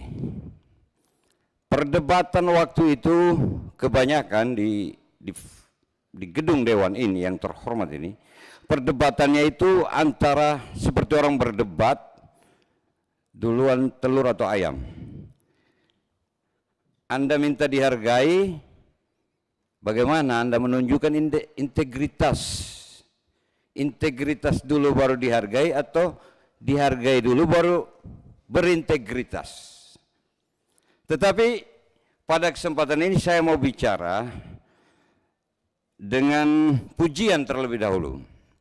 Jadi saya ingin memuji pada tempat pertama Bapak Jenderal Purnawirawan Susilo Bambang Yudhoyono karena di tahun 2012 dua tahun sebelum berakhir masa jabatan beliau suara yang kami sampaikan pada saat itu beliau kabulkan dengan luar biasa fantastik yang saya rasakan pada saat itu. Apalagi kemarin kita dengar juga Pak Jenderal Purnawirawan Prabowo Subianto sebagai calon presiden juga mau menaikkan pendapatan atau kesejahteraan hakim setinggi langit. Saya kira beliau berdua ini tentu tidak sekonyong-konyong. Bukan juga jualan kampanye itu kalau saya dengar Pak Prabowo ngomong. Beliau berdua berpikir bahwa persoalan bangsa ini yang paling krusial itu di mana? Mungkin itu. Kemudian melahirkan pikiran. Pak SB kayaknya karena kami yang memulai, beliau mengabulkan. Kalau Pak, Pak Prabowo ke depan ini, kayaknya kami belum pernah bertemu. Tapi tapi beliau sudah mencanangkan itu. Jadi saya memuji dulu beliau berdua ini. Kalau untuk Pak Jokowi, saya kira karena Mungkin saja beliau tidak memprogram ini, persoalan hakim ini, apakah tidak penting atau bagaimana, saya nggak tahu. Tapi barangkali sebelum mengakhiri masa jabatannya, barangkali ada kenangan manis untuk hakim Indonesia. Itu poin pertama saya. Poin saya yang kedua, kita juga enggak enggak tahan mendengar ocehan hampir semua kalangan. Apalagi caci maki itu barang biasa. Tetapi bagi saya orang yang mencaci maki ketidakadilan yang ada di gedung pengadilan itu menunjukkan bahwa mereka-mereka ingin adil, ingin ada keadilan. Itu logika yang sangat sederhana. Semua orang di mana pun, bahkan kemarin saya dengar anggota DPR RI mencaci maki hakim atau apa dengan bahasa saya anggap itu adalah ekspresi betapa menginginkannya mereka tentang keadilan. Kan itu. Tetapi apa penghargaan negara? Sudah setinggi mana negara ini menghargai hakim? Bicara kinerja, Bapak Ibu bayangkan, di forum yang terhormat ini barangkali mungkin ada yang belum menyampaikan. Mau saya sampaikan pada kesempatan ini. Hakim itu sidang siang hari sampai sore, malamnya bikin putusan. Kita bikin putusan itu kadang-kadang nggak sadar. Tiba-tiba istri, woi, stop dulu, udah jam 3 ini. Kadang sampai ajan subuh kita bikin putusan. Jadi siang sidang, malam bikin putusan, persentasinya nyaris 24 jam hakim bekerja. Jadi kalau ada orang bicara ukuran kinerja hakim, bla bla bla yang ada sekarang ini, itu sama sekali tidak faktual, tidak realistis mengukur kinerja hakim dengan ukuran jam 8 masuk, jam 5 pulang. Itu administratif mungkin, atau di tempat lain. Mereka mungkin, ah ini besok aja baru kita kerja sambung. Hakim nggak bisa malam, siang dia sidang, malam dia putus. Dia nyusun putusan. Diharapkan putusannya bagus. Kami begadang, kami nggak punya asisten. Terutama hakim-hakim di daerah. Jadi apa? Baru penghargaannya sudah sepantas mana kepada hakim Indonesia.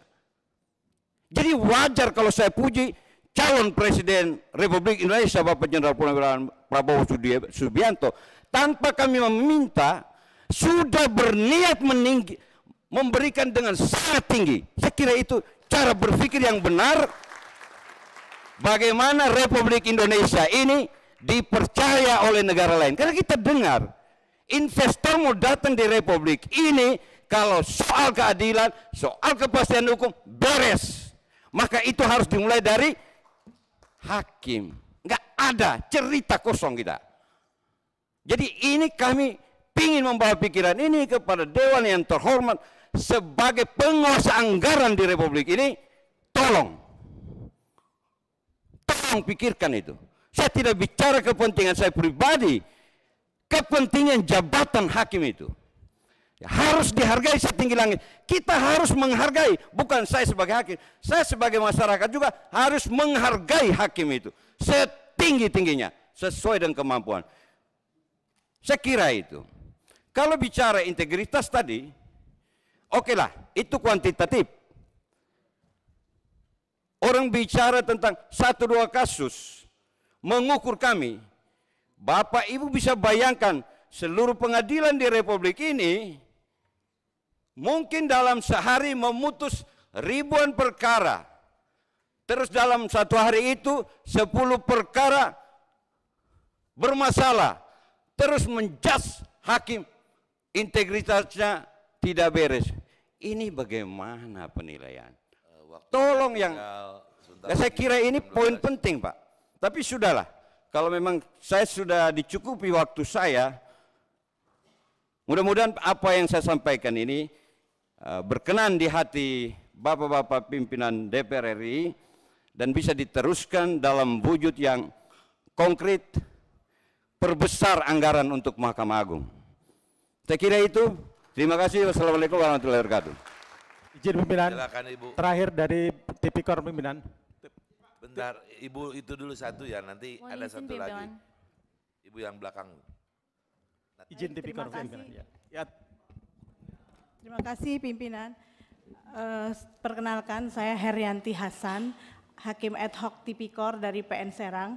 Eh, kami eh, ingin menyampaikan bahwa kehadiran kami di sini juga selain hakim karir juga ada hakim ad hoc dari Tipikor, PHI dan Perikanan. Eh, terima kasih diberi kesempatan. Kami sebagai hakim ad hoc juga merasakan ada ketidakadilan bagi kami bahwa selama 11 tahun eh, ini tidak ada eh, perubahan eh, kenaikan dari apalagi kami hakim ad hoc tidak mendapatkan gaji pokok hanya honorarium istilahnya. Eh, itu untuk tingkat pertama itu 20 juta 500 tapi dipotong pajak sehingga kami take home pay-nya hanya 18 juta 500 dan eh, selaku kalau kami di Tipikor itu sidang kadang-kadang sering hampir subuh baru selesai eh, pimpinan ini sangat tidak relevan lagi dengan kondisi sekarang. Jadi kami juga mohon dapat diperhatikan bahwa hakim ad hoc juga terutama dalam hal ini ad hoc tipikor PHI dan perikanan ini sangat sudah tidak relevan lagi kondisi apa ya yang kesejahteraan kami. Selain itu juga kami tidak dapat pensiun pimpinan sehingga hanya uang kehormatan untuk masa kerja 10 tahun itu hanya dua kali. sangat miris ketika teman-teman ad hoc hakim ad hoc PHI yang menyidangkan perkara untuk pekerja apa karyawan atau buruh saja itu uang kehorm, apa uang pesangon ya istilahnya berapa kali. Sedangkan kami sebagai yang dipanggil yang mulia itu dua kali uang tunjangan uang honorarium untuk 10 tahun e, masa kerja gitu pimpinan. Selain itu juga mengenai pajak. Kami ini dipotong pajak pimpinan.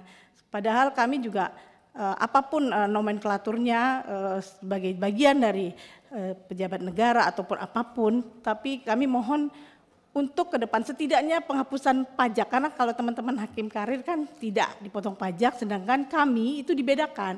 Udahlah dapat tunjangannya tidak ada kenaikan pangkat tidak ada eh, apa namanya tidak ada karir lah istilahnya dalam 10 tahun itu eh, kami juga dipotong pajak. Jadi itu kami juga menyampaikan bahwa kami di sini juga ada hakim ad hoc yang mohon memang eh, dasar kami berbeda sedikit dengan teman-teman dari rekan hakim karir itu PP 94 tahun 2012 ya. Kalau kami eh, Pepres eh, nomor 5 tahun 2013. Jadi itu pimpinan. Terima kasih. Assalamualaikum warahmatullahi wabarakatuh. Baik. Pimpinan, izin. Tipikor kan udah ya. Izin pimpinan. Mohon izin pimpinan. Bapak dari Dari pengadilan agama. PA udah banyak tadi. Saya bekas pimpinan pengadilan. Jadi p- pimpinan pengadilan sudah, saya bekas pimpinan pengadilan. Eh, silakan. Baik, terima kasih. Bismillahirrahmanirrahim. Assalamualaikum warahmatullahi wabarakatuh. Alhamdulillah wassalatu wassalamu ala rasulillah wa ala alihi wa sahbihi wa wala wa ba'du. Salam sejahtera untuk kita semua. Semoga kita yang hadir di sini selalu dalam lindungan Allah Tuhan yang Maha Esa. Yang saya hormati pimpinan Komisi 3 ataupun Komisi 3 mantan lah ya dan bapak-bapak para anggota DPR yang baru dilantik saya ucapkan selamat. Yang saya muliakan para senior kami ada hakim tinggi di sini sebelah sana Pak Hakim Tinggi lalu para senior kami barangkali yang ada dari Mahkamah Agung. Bapak-bapak para pimpinan pengadilan. Ya, saya tidak apa memahami mengenali tapi beliau adalah senior kami, hakim tinggi dan uh, dari Mahkamah Agung. Kemudian Kabiro Humas, Pak Kabiro Humas, mohon maaf ada Kabiro Humas. aja, Pak. Baik. Nah, jangan Dan Bapak sekalian yang saya hormati, waktunya. jadi eh, singkat saja teman-teman tadi baik dari yang dari koordinator yang saya yakin itu adalah hakim-hakim muda pimpinan, lalu dari hakim-hakim yang lain ad hoc, lalu yang sekarang jadi pimpinan dan saya yang bekas jadi pimpinan yang saat ini masih setia meskipun hanya kami bertiga yang pakai kopiah di ruangan ini, saya Pak Jokowi dan Pak Maruf Amin. Saya hanya sampaikan begini, hadirnya kami di sini adalah representasi dari hakim seluruh Indonesia. Jadi, saya rekam ini dalam siaran langsung, banyak sekali masuk pesan, Pak Arkom tolong sampaikan salam saya kepada Komisi 3 DPR. Dan kami yakin dan percaya Komisi 3 DPR akan mendengar dan menyalurkan aspirasi kami. Pak Arkom, kami baca Al-Quran satu orang satu juz untuk mendoakan perjuangan Anda.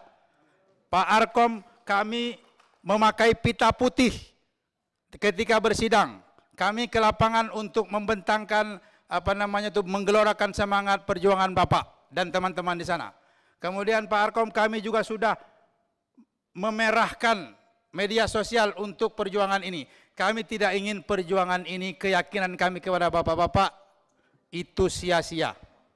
Oleh karena itu, mohon kiranya dengan keyakinan Maksudnya ini, tadi Bapak di medsos. Bapak mem- memeriahkan, memerahkan. Memerahkan. Jadi ada semangat merah itu. Solidaritas. Ah ya. Kok ya. merah nggak hijau gitu Pak? Ya, ya. Putih juga ini bahaya ini. Baik. Jadi apa pun warnanya, yang jelas semangatnya tetap semangat itu dan itu kami nyatakan. Jadi hari ini dengan dengan berat hati saya katakan negara dalam kondisi genting karena hakim-hakim di Indonesia ini mendatangi gedung wakil rakyat ini membawa aspirasi ribuan hakim yang saat ini menunggu hasilnya.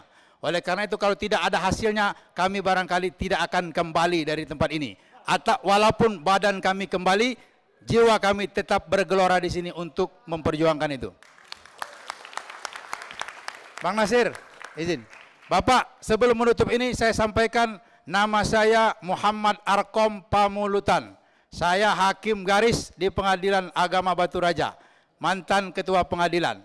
Tapi saya hadir di sini membawa pesan dari semua hakim, membackup kawan-kawan saya yang ya bergelora ini untuk meyakinkan bahwa kami berjuang dan perjuangan kami pasti akan berhasil atas izin Allah SWT. Terima kasih. Kalau kepanjangan tolong pendekkan sendiri, kalau kependekan tolong panjangkan sendiri. Wassalamualaikum warahmatullahi wabarakatuh. Iya, iya. Ayo masih ada dua. Saya pingin yang sudut sana dari tadi yang katakan kasihan Pak. Coba yang sudut.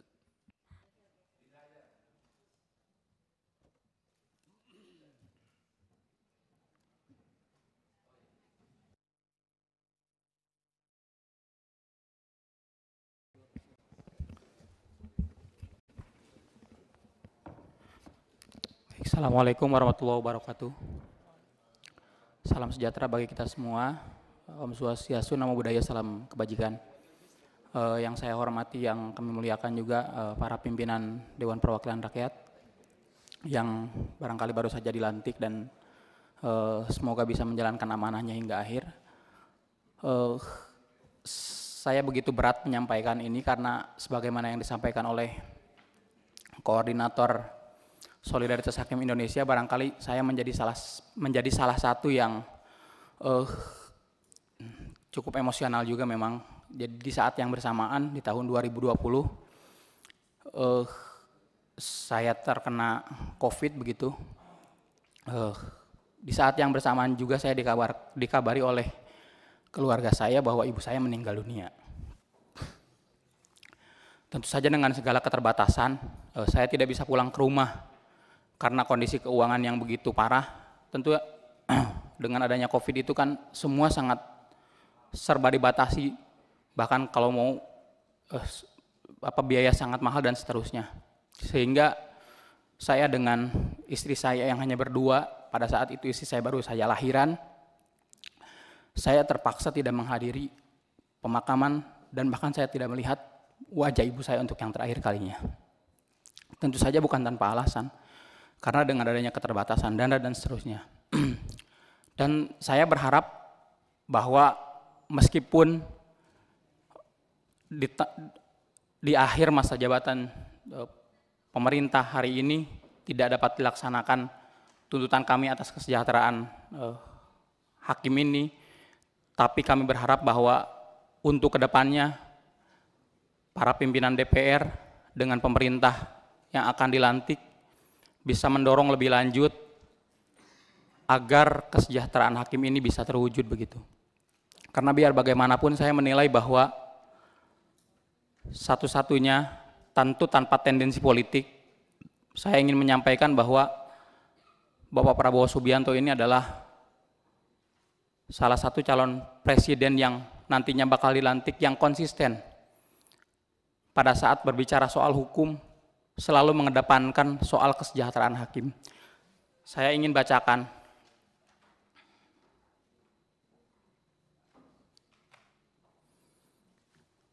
pada tahun 2014 Prabowo dalam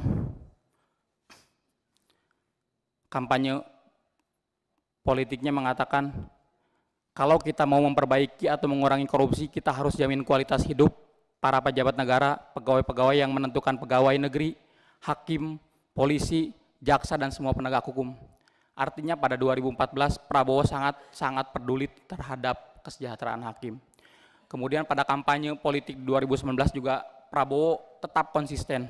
Di 2019 Prabowo mengatakan kita perbaiki, kita lipat gandakan gaji-gaji hakim, jaksa, polisi dan seterusnya. Artinya di saat yang bersamaan pada 2019 Prabowo tetap konsisten ingin menyejahterakan hakim. Dan mungkin Prabowo sudah mengetahui pada saat itu gaji hakim tidak seberapa dan mungkin masih dinilai tidak sejahtera. Apalagi untuk kami yang berada di kelas 2 kemudian di tahun 2024 terakhir dalam kampanye politiknya Prabowo tetap sama. Saya akan memperbaiki kualitas hidup semua hakim-hakim di Republik Indonesia semua pekerja di sekitar pengadilan dan semua penegak hukum. Artinya saya ingin menyampaikan dan kami tentunya Solidaritas Hakim Indonesia berharap untuk ke depannya para pimpinan DPR dengan pemerintah tentu bisa mendorong lebih lanjut apa yang kami harapkan dan kami inginkan terkait dengan kesejahteraan hakim tentu tidak hanya dari sisi ekonomi tapi dari sisi yang lain juga seperti kesehatan, jaminan keamanan dan seterusnya. Barangkali itu yang ingin saya sampaikan. Idina suratul mustaqim. Wallahul muwaffiq sabili sa'id. Assalamualaikum warahmatullahi wabarakatuh. Sing silakan Ibu dari tadi ini kelas terakhir ya, Ibu ya, dari Ya, tadi. Terima kasih pimpinan. Perkenalkan nama saya Isnatul Latifah SH. Saya dari juru bicara Solidaritas Hakim Indonesia, satu-satunya yang masuk struktural dalam gerakan ini.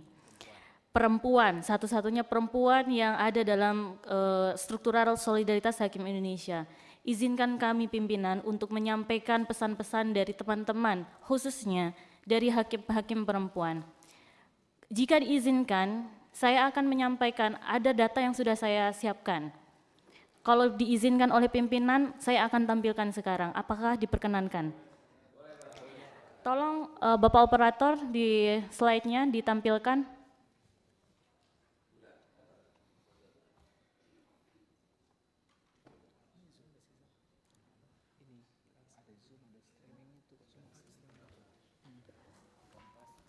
Untuk tabel yang kedua ya, slide yang kedua tolong ditampilkan Bapak.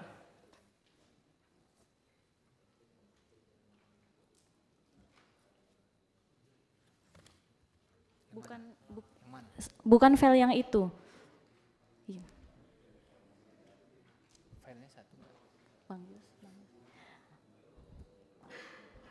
Oh gitu ya. ya, ya sudah saya bacakan langsung pimpinan.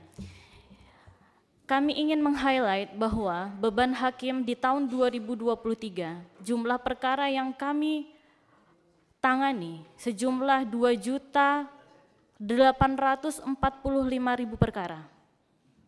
Dengan kapasitas kita, hakim di tingkat pertama hanya 6 ribu.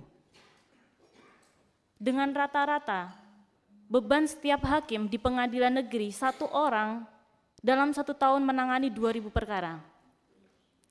Di pengadilan agama, beban satu orang hakim rata-rata 800 perkara. Bisa dibayangkan, kami ini seperti apa? Kami tidak memiliki waktu, bahkan apa yang tadi telah disampaikan oleh teman-teman hakim laki-laki. Nah, tolong disampaikan di slide yang kedua. Bapak Ibu sekalian bisa melihat, ini adalah angka yang sangat valid. Kami ambil dari laporan tahunan Mahkamah Agung. Ini perlu untuk kita perhatikan bersama bahwa kita ini krisis hakim. Bahkan sepertiga dari pengadilan di Indonesia sudah ber, sudah mengajukan hakim tunggal. Kami semua sidang hanya tunggal. Teman-teman hakim laki-laki dengan segala problema seperti itu tadi, bisa dibayangkan bagaimana kami-kami ini hakim perempuan. Habis waktu kami untuk menyelesaikan perkara, berkas dan sebagainya. Kapan kami ini akan memperhatikan suami dan anak-anak kami? Inilah salah satu resiko yang kami tanggung hakim-hakim perempuan hingga pada akhirnya rumah tangga kami ini menjadi taruhan dalam pekerjaan kami ini. Untuk itu di forum ini kami mohon untuk diperhatikan, berilah kami afirmasi hakim-hakim perempuan untuk selalu bisa berkontribusi pada negara juga bisa diberikan pilihan untuk tetap berkontribusi pada keluarga. Pekerjaan kami ini tidak mentolerir kapan kita sedang hamil, menyusui. Bahkan sedang sidang pun kami pumping, Pak. Ini hal-hal yang tidak pernah publik itu mengetahui. Kami dijauhkan dari pasangan, dari keluarga, dengan mengasuh anak-anak kami tanpa adanya ART. Bisa dibayangkan bagaimana kami dalam menyelesaikan pekerjaan kami. Bagaimana kualitas putusan kami yang kami berikan kepada masyarakat.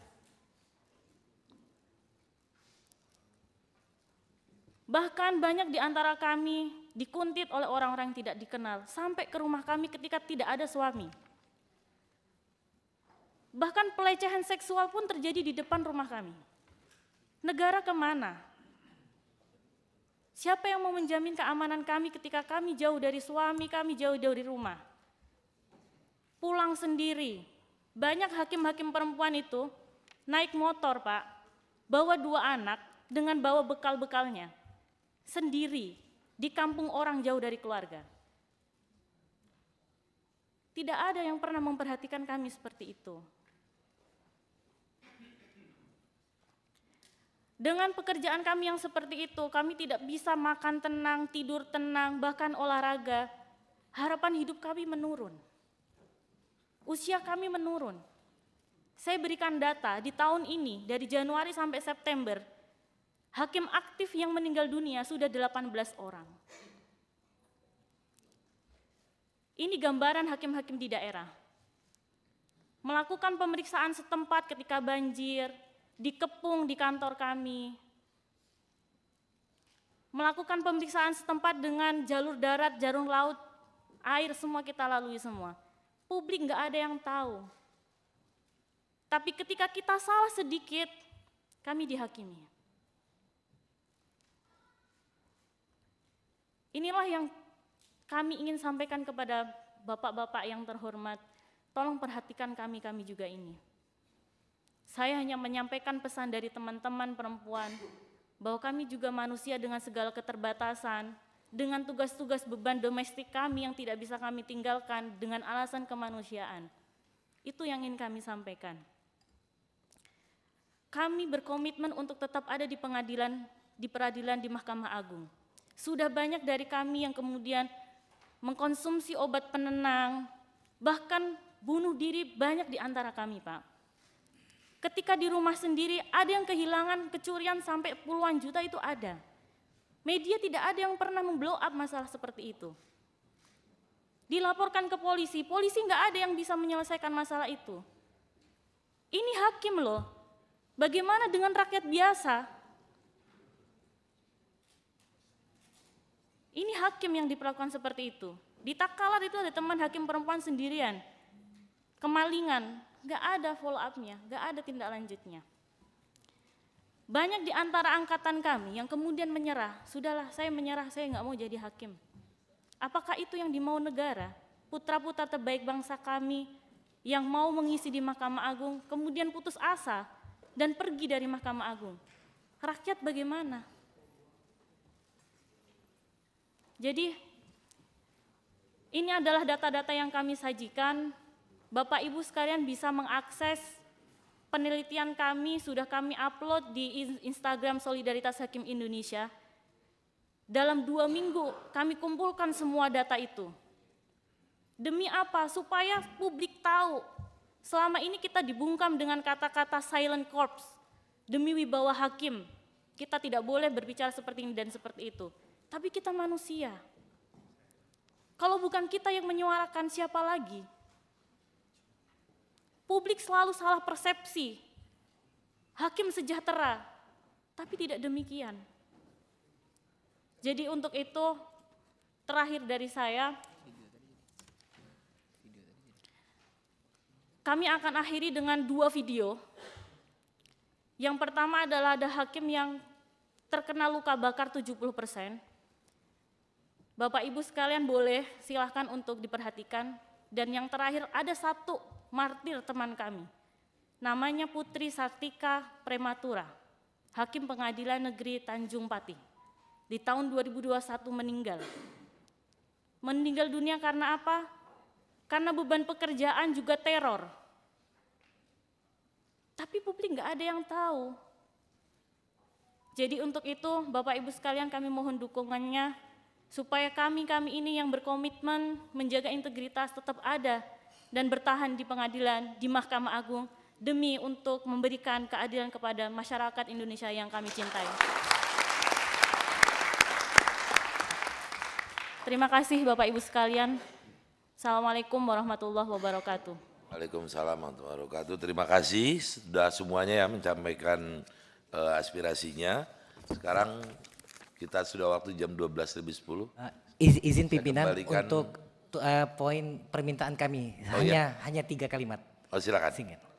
Yang pertama kami memohon kepada wakil rakyat, kami wakil Tuhan memohon kepada wakil rakyat agar gaji pokok kami dan tunjangan jabatan kami naik 142 persen. Tidak Apabila Sri Mulyani memperjuangkan anak-anaknya naik 300 persen, kami hanya minta 142 persen. Satu. Yang pertama. Yang kedua, percepat rancangan revisi peraturan, pemerintah nomor 94 tahun 2012. Kami mohon percepat dan apabila berkenan, apabila berkenan, itu ditandatangani oleh presiden terpilih. Karena yang kami rasakan beliau sangat paham mengenai nasib kami dan beliau sangat paham mengenai peran kami sebagai guardian of justice, penegak keadilan di muka bumi ini.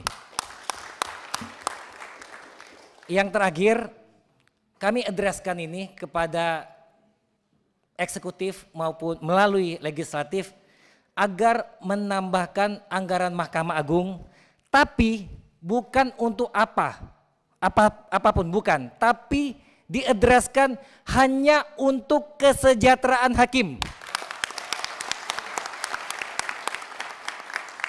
Bukan untuk bangun gedung, bukan untuk bangun aplikasi, bukan bangun sarana dan prasarana lainnya yang tidak berhubungan dengan kesejahteraan hakim. Karena itu ada postur anggaran ter- tersendiri. Kurang lebih itu saja. Mohon bantuannya wakil rakyat meminta bantu kepada wak maaf saya ulangi wakil Tuhan meminta bantuan kepada wakil rakyat. Terima kasih Pak Rangga. Sudah kita terima poin-poin tiga poin tadi ya usulannya. Saya kembalikan lagi ke Pak Dasko silakan. Baik, terima kasih. Dengan persetujuan peserta rapat, saya menawarkan rapat kita perpanjang selama 30 menit. Apakah setuju? Baik, terima kasih. Baik, pimpinan DPR, para peserta rapat pada hari ini, mungkin kita perlu juga mendengar eh, beberapa pendapat dari teman-teman anggota DPR yang sudah hadir pada hari ini. Mungkin eh, kita persilakan kalau ada yang akan memberikan pendapat sebelum nanti dari meja pimpinan. Terima kasih.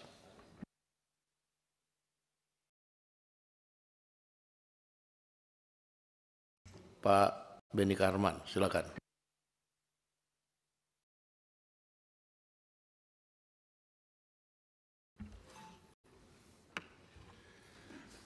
Terima kasih eh, pimpinan. Saya Benika Harman.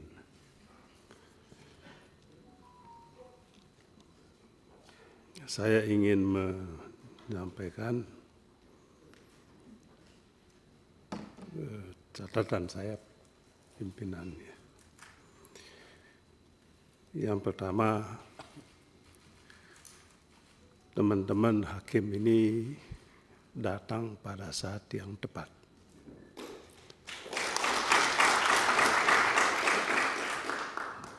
Mengapa tepat? Pimpinan DPR, pimpinan para wakil rakyat itu adalah 90 persen pernah di Komisi 3. Yang terhormat Pak Dasko, yang terhormat Pak Ujun, yang terhormat Pak Adis, yang terhormat Pak San Mustafa adalah ex Komisi 3 yang tentu saja punya pengaruh yang begitu kuat. Saya rasa saat yang tepat apa yang disampaikan oleh teman-teman hakim tadi akan diperjuangkan oleh pimpinan kita yang kebetulan saat ini turun gunung bertemu langsung dengan Bapak Ibu sekalian, para hakim, para wakil Tuhan. Saya ingat pepatah di zaman Romawi kuno. Hakim adil, hakim disembah. Hakim lalim, hakim disanggah, hakim dirajam. Itu menunjukkan bahwa tidak semua hakim adalah wakil Tuhan. Ada juga wakil setan. Nah, oleh sebab itu, ketika teman-teman yang sama pada tahun 2013 datang di tempat ini juga, pimpinan, pernah juga menyampaikan hal yang sama. Dan pada saat itu, kami juga yang ikut menerima, mungkin ada yang datang pada saat itu. Perdebatan pada saat itu pimpinan ada dua. Apakah hakim yang diutamakan oleh hakim ini adalah memperjuangkan status sebagai pejabat negara kah? atau memperjuangkan kesejahteraannya. Maka kata kunci itu adalah PP tahun 2013 yang kemudian direvisi oleh putusan Mahkamah Agung. Ada revisi pemerintahan Presiden Jokowi 2016 kemudian di sebagian dibatalkan oleh Mahkamah Agung. Nah, pada saat itu pimpinan juga ada Pak Dasko, Pak Adis, Pak Ujun juga. Bukan kita tidak memperjuangkan ini. Pada saat itu kita menjawabnya dengan membuat undang-undang tentang jabatan hakim. Mohon dikoreksi nanti Pak Ketua kalau saya salah. Pada saat itu kita sudah mengajukan rancangan undang-undang jabatan hakim yang intinya untuk menebaskan, menegaskan bahwa status hakim itu adalah pejabat negara. Tidak cukup dituangkan dalam peraturan pemerintah. Nah, sebab kalau dituangkan dalam undang-undang, itu akan ada konsekuensi-konsekuensi berkaitan dengan hak protokoler dan kesejahteraan tadi. Perlu Bapak Ibu para hakim yang datang mengetahui juga bahwa teman-teman anggota DPRD juga pada saat itu menuntut status yang sama. Mereka juga meminta statusnya pejabat negara, DPRD dan provinsi, kabupaten, dan kota. Nah, kalau hakim begitu, kenapa kami tidak? Nah, itulah sebabnya pada saat itu menurut saya ya, kebijakan kita supaya dibuat dulu undang-undangnya, payung hukumnya, jabatan hakim itu menjadi pejabat negara. Kita sudah siapkan rancangan undang-undang. Saya rasa yang terhormat Pak Adis lah yang memimpin itu sudah siapkan, tetapi entah kenapa tidak diproses ini lebih lanjut. Tiba-tiba kemudian ada revisi terhadap PP tahun 2013, kemudian lagi saya kaget ketika ada putusan Hakim Agung yang melakukan judicial review atas PP ini. Nah, isinya juga ketika kepada saya disampaikan putusan itu, saya menyampaikan ini putusan banci. Baca PP itu. Apa ada perintah? Tidak ada. Apa yang tadi sampai, disampaikan oleh juru bicara hakim itu hanya kesimpulan. Putusan itu deklaratif sifatnya. Hanya menyatakan PP itu bertentangan dengan undang-undang. Tidak ada perintah kepada presiden untuk membuat peraturan tidak ada. Coba baca itu. Saya mau mengatakan jangan persalahkan pemerintah juga. Nah, oleh sebab itu ya, usul saya Pak Ketua yang terhormat, pimpinan ini ada Pak pimpinan kita, Pak Dasko, untuk mengatasi, menjawab, merespon apa yang dituntut oleh teman-teman ini, kita segera mengusulkan undang-undang jabatan hakim.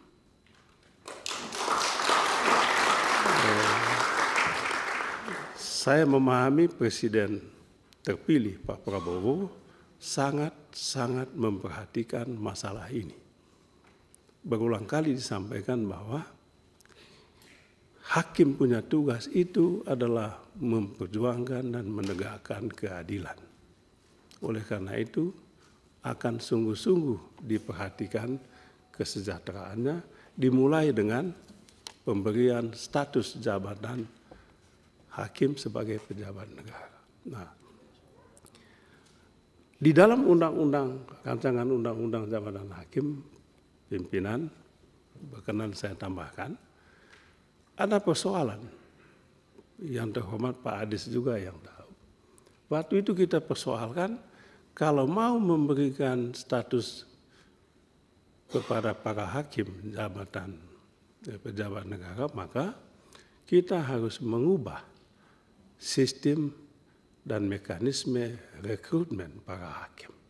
Nah, di situlah jadi soalnya. Ini ini supaya teman-teman juga tahu bahwa tidak sesederhana itu. Jadi kita harus mengubah itu. Nah, lalu secara perlahan-lahan dulu kita mulai dengan tadi soal IT, soal aplikasi. Saya rasa itu penting dan eh, infrastruktur penting. Tapi setelah itu tentu SDM-nya kita akan perhatikan. Eh, sebagai wakil rakyat tadi tentu kami menaruh harapan dan kami tentu rely on kepada pimpinan kita yang ada di depan. Pimpinan yang di depan itu adalah pimpinan DPR, bukan pimpinan Komisi 3. Supaya Bapak Ibu tahu, pimpinan DPR, pengambil keputusan. Dan juga pimpinan Pak Dasko adalah dari eh, partai pengusung presiden eh, terpilih yang terhormat Bapak Prabowo. Jadi kita menaruh harapan mudah-mudahan persoalan ini akan diselesaikan oleh beliau dan para hakim akan lebih diperhatikan kesejahteraannya dan yang lebih penting lagi bukan kesejahteraan tetapi statusnya. Karena soal kesejahteraan itu saya yakin manakala keuangan negara kita cukup itu akan otomatis. Tapi tolong diperjuangkan dulu status hakim sebagai pejabat negara. Nah, ini yang kami sampaikan, kurang dan lebihnya kami mohon eh, maaf. Atas nama pribadi juga kami menyampaikan profesiat pada pimpinan MPR kita yang baru untuk periode 2024-2029. Saya yakin karena pentingnya masalah ini, maka para pimpinan DPR dipimpin langsung oleh Pak Dasko turun gunung ketemu dengan Bapak Ibu sekalian para hakim, para wakil Tuhan Semoga yang datang ini memperjuangkan wakil Tuhan, bukan wakil uang. Terima kasih banyak.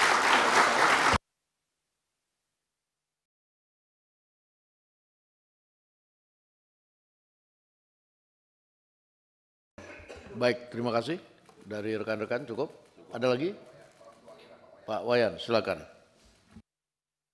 Karena waktunya sempit, saya langsung saja dan tidak banyak yang akan saya kemukakan. Mudah-mudahan ini sangat berarti.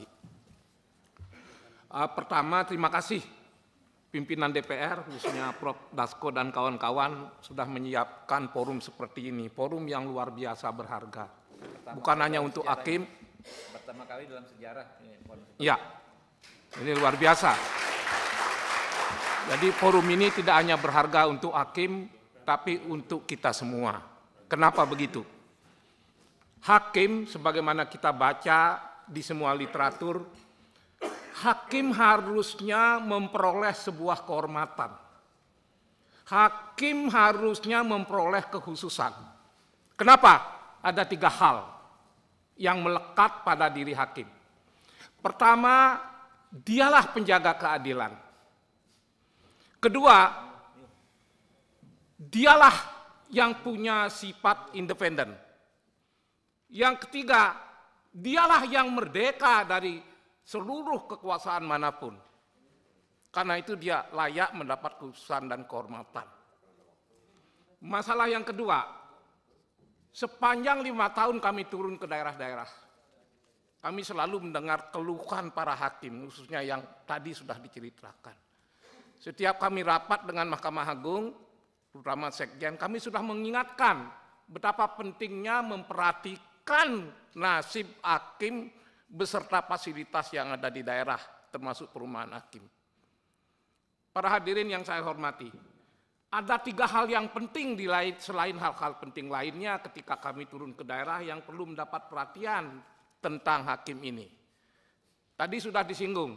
Pertama soal kesejahteraan kedua soal keamanan. Ada yang ketiga, sumber daya di kantor pengadilan juga perlu mendapat perhatian. Oleh karena itu, sekali lagi forum ini sangat berharga. Terima kasih para pimpinan DPR. Kenapa? Pada kesempatan ini pasti ibarat menggarami lautan, pimpinan pasti sudah menyiapkan strategi menghadapi tamu-tamu yang terhormat ini. Strategi apa? Pasti setidaknya dalam waktu dekat DPR akan melakukan komunikasi dengan pemerintah. Pasti, saya yakin ini. Yakin, saya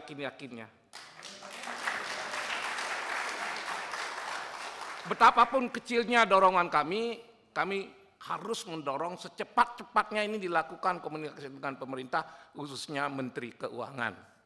Terakhir, pimpinan, mungkin agak ekstrim, mohon maaf, kalau ada yang tidak sependapat. Selama ini kita mendengar kesejahteraan hakim itu hanya diatur oleh PP, oleh PP, rentan perubahan. Ya kalau perubahan menuju ke, ke, kebaikan. Kalau perubahannya menuju yang negatif, hakim itu tidak mudah bicara, tidak seperti hari ini gitu. Oleh karena itu kalau ingin kesejahteraan ini memperoleh kelayakan dan kepastian hukum, kami memberanikan diri di forum ini. Coba kita kaji bersama, pantas nggak kesejahteraan hakim diatur di dalam undang-undang.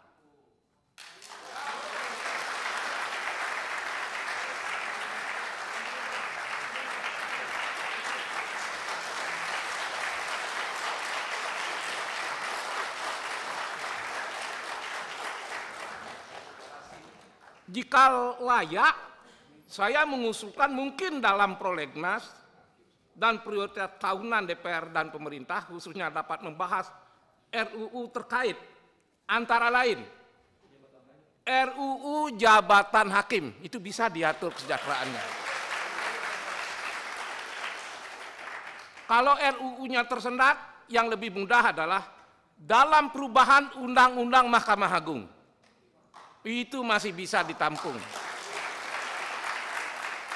Dan terakhir, revisi Undang-Undang Kekuasaan Kehakiman. Itu saja yang bisa saya sampaikan. Terima kasih.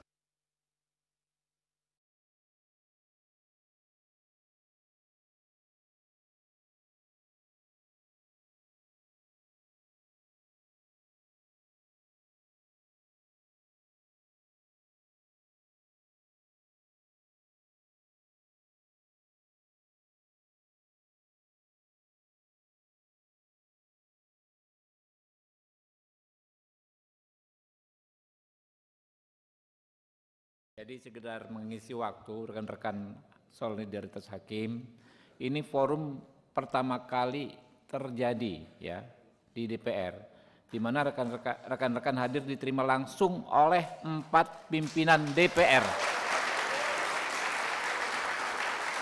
Bukan lagi pimpinan komisi ya, tapi empat pimpinan DPR. Coba cek, setahu saya belum pernah. Ya, Pak, ini dengan uh, perwakilan hakim, Mohon izin bicara Pak. Ya, Bismillahirrahmanirrahim. Assalamualaikum warahmatullahi wabarakatuh.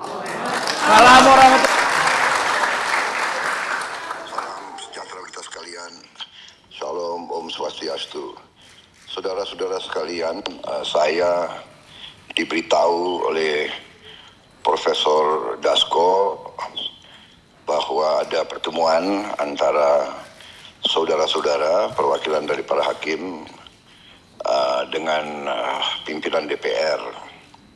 Saya uh, memang menaruh perhatian yang sangat besar sudah sejak lama uh, terhadap para hakim. Saya saya berpendapat bahwa yudikatif yudikatif kita harus sangat kuat dan Uh, karena itu dari dulu pendapat saya saudara boleh cek di semua pidato saya di berbagai juga tulisan saya saudara uh, bisa dipelajari uh, rekam rekam saya rekam jejak ucapan-ucapan saya. Saya sangat berpendapat bahwa para hakim harus diperbaiki kualitas kualitas hidupnya dan uh, harus dijamin supaya para hakim itu sangat uh, mandiri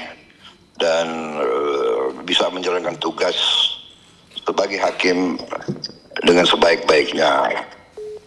Karena itu dari dulu rencana saya ingin memperbaiki uh, remunerasi uh, penghasilan para hakim supaya menjadi uh, sangat baik gitu. Itu pandangan saya dari dulu dan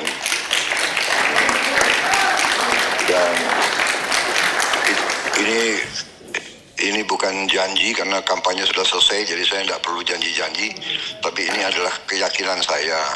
Jadi saya minta para hakim sabar sebentar ya kan? Begitu saya memang uh, menerima estafet, saya menerima mandat dan saya menjalankan. Saya benar-benar akan memperhatikan para hakim karena supaya negara kita bisa bisa hilangkan korupsi, uh, para hakim yang tidak boleh bisa disogok, para hakim yang tidak bisa dibeli, para hakim harus terhormat, para hakim harus mendapat uh, perhatian dari negara, penghasilan yang memadai sehingga dia punya harga diri yang sangat tinggi dan dia tidak perlu untuk cari tambahan. Itulah tekad saya, itu itu keyakinan saya. Untuk itu saya mohon bantuan saudara-saudara. Marilah kita bersatu, kita benahi negara kita. Kita yakinkan semua uh, semua orang, semua pihak, apalagi mereka yang menerima fasilitas dari negara, para pengusaha-pengusaha besar itu bisa bayar pajak pada kewajiban mereka dengan sebaik-baiknya. Kita semua harus bahu membahu. Yang kuat bantu yang lemah, yang lemah kita harus bersatu. Jadi negara kita sama-sama akan bangkit, sama-sama akan makmur. Saya kira itu para hakim yang saya hormati, mohon sabar, saya Saya juga kaget saya mendengar uh, kondisi kalian, tapi saya sudah merencanakan bagaimana kita memperbaiki kondisi kalian. Saya kira itu dulu sementara, ya, saudara-saudara. Pada saatnya nanti uh, kita saya bisa uh, apa minta waktu untuk saya bisa uh, mungkin tetap muka dan bicara langsung sama saudara-saudara. Tapi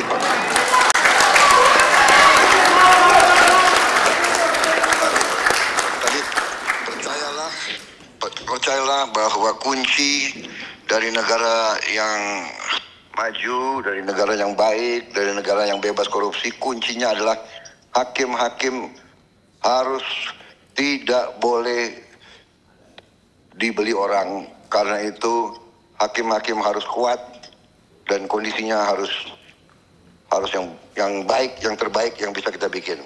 Itu tekad saya. Sampai saya mengatakan apa yang saya pelajari dari luar negeri itu dari segi protokol kenegaraan Lord Chief Justice dari Inggris itu itu berjalan langsung di belakang kepala negara di, di, di belakang raja jadi di depan perdana menteri berarti itulah demikian pentingnya mereka apa eh, memandang yudikatif jadi demikianlah marilah kita sama-sama memperbaiki negara kita terima kasih wassalamualaikum warahmatullahi wabarakatuh Izin Pak. Terima kasih Pak. Saya lanjut mimpin Pak. Terima kasih Pak. Terima kasih.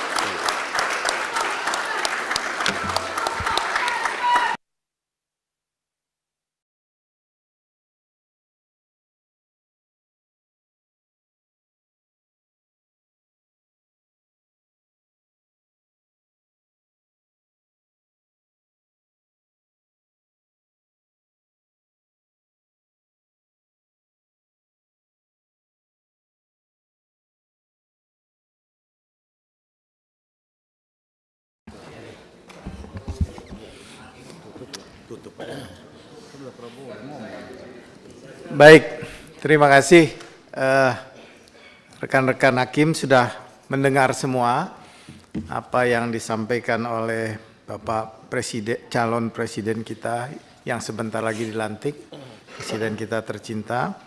Yang pasti apa yang dimintakan tadi, mintakan 142 persen kenaikan, insya Allah eh, kita tunggu beliau dan kemudian revisi kembali PP 94 tahun 2012 ya oke di buku itu. Dan yang paling penting RU jabatan hakim ya.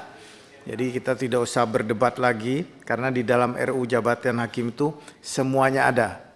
Semuanya ada di sana baik itu termasuk contempt of court kemudian jaminan keamanan hakim jaminan kesehatan fasilitas perumahan dan lain sebagainya. Itu semua ada di sana. Jadi kita atur di dalam eh, RU jabatan hakim tersebut. Presiden sudah berjanji dan ingin meningkatkan pas apa kesejahteraan dan juga ingin hakim itu lebih mandiri. Jadi saya pikir itu mudah-mudahan semua bisa direalisasikan. Begitu pimpinan, saya rasa cukup. Baik, saudara-saudara sekalian. Izin pimpinan mau menyerahkan ini naskah kami pimpinan. Ya, sebentar. Saya jelaskan sedikit. Saudara-saudara sekalian, jadi proses-proses yang saat ini sedang berjalan ketika saudara-saudara mengajukan pada pemerintahan saat ini, ini bisa dimaklumi kalau kemudian perhitung-perhitungan yang dilakukan itu agak sedikit ketat karena sedang masa transisi dan saya eh, paham bahwa pemerintah yang sekarang ini juga hati-hati dalam mengalokasi karena ini nanti akan masuk di anggaran 2025 dan ke depan. Nah, sehingga kalau tadi ada hitungan-hitungan yang mungkin eh, kurang pas, kurang sesuai, itu agar dimaklumi karena ini masih dalam proses transisi. Tetapi, ah, tetapi tadi supaya kemudian hal-hal yang tadi disampaikan bahwa ini kurang sesuai, kurang e, memadai, itu kemudian bagaimana caranya supaya eh, bisa kemudian paling tidak dalam hal pokok itu bisa memenuhi. Makanya tadi saya langsung sambungkan kepada eh, presiden terpilih yang akan melanjutkan estafet kepemimpinan supaya kemudian hal-hal yang sekarang masih dianggap kurang memadai bisa diestafet dilanjutkan untuk ditingkatkan sesuai dengan apa yang direncanakan oleh presiden terpilih sebenarnya saya sudah uh, ikut mendampingi ketua Mahkamah Agung jadi ini ketua Mahkamah Agung yang sekarang bukan tidak memperjuangkan. Jadi setelah, setelah eh, penetapan presiden terpilih, ada dua orang yang memperjuangkan nasib saudara-saudara sekalian. Pertama ketua Mahkamah Agung itu didampingi oleh Pak Bandi waktu itu menyampaikan kondisi hakim.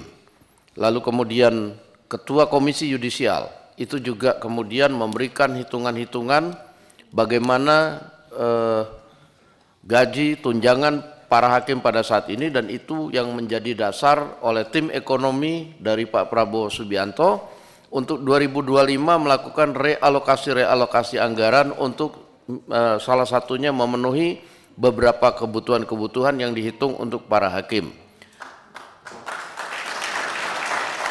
Nah sehingga saya pikir tadi eh, Pak Wayan sudah sampaikan tentunya kita sudah jalankan ketika saudara-saudara sekalian mengajukan aspirasi ke Kementerian Keuangan, ke Kementerian Kehakim eh, apa namanya Kumham, Pan RB, kami pun dari DPR tidak tinggal diam, kami melakukan juga koordinasi-koordinasi, kami melihat hitungan-hitungan dan kami juga akan menyampaikan kepada pemerintah sekarang maupun yang akan datang bagaimana ini memecahkan persoalan para hakim.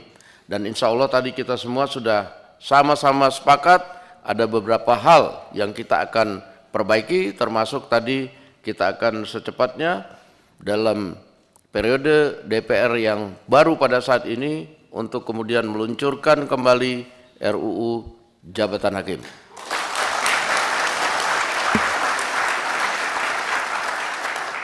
Dan saudara-saudara sekalian tentunya kami berharap agar tugas-tugas hakim dalam memenuhi kebutuhan rakyat akan keadilan tidak terhambat, saya pikir mulai setelah ini bisa disampaikan kepada kawan-kawan hakim seluruh Indonesia agar mulai dapat berjalan menjalankan kembali tugas-tugas mulia mewakili apa namanya untuk kembali beraktivitas melayani para pencari keadilan.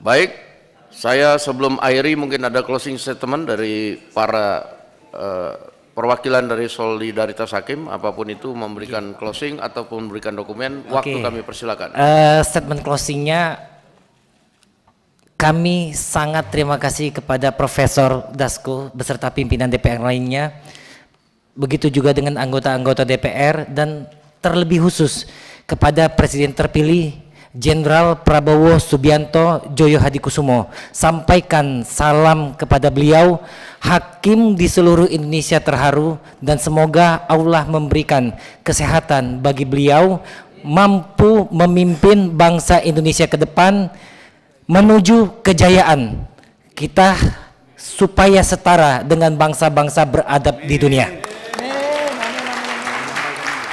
Dan terakhir Bapak dan terakhir kami akan menyampaikan naskah kenaikan uh, gaji dan tunjangan kami. Mohon izin uh, koordinator beserta sekretaris dan juru bicara.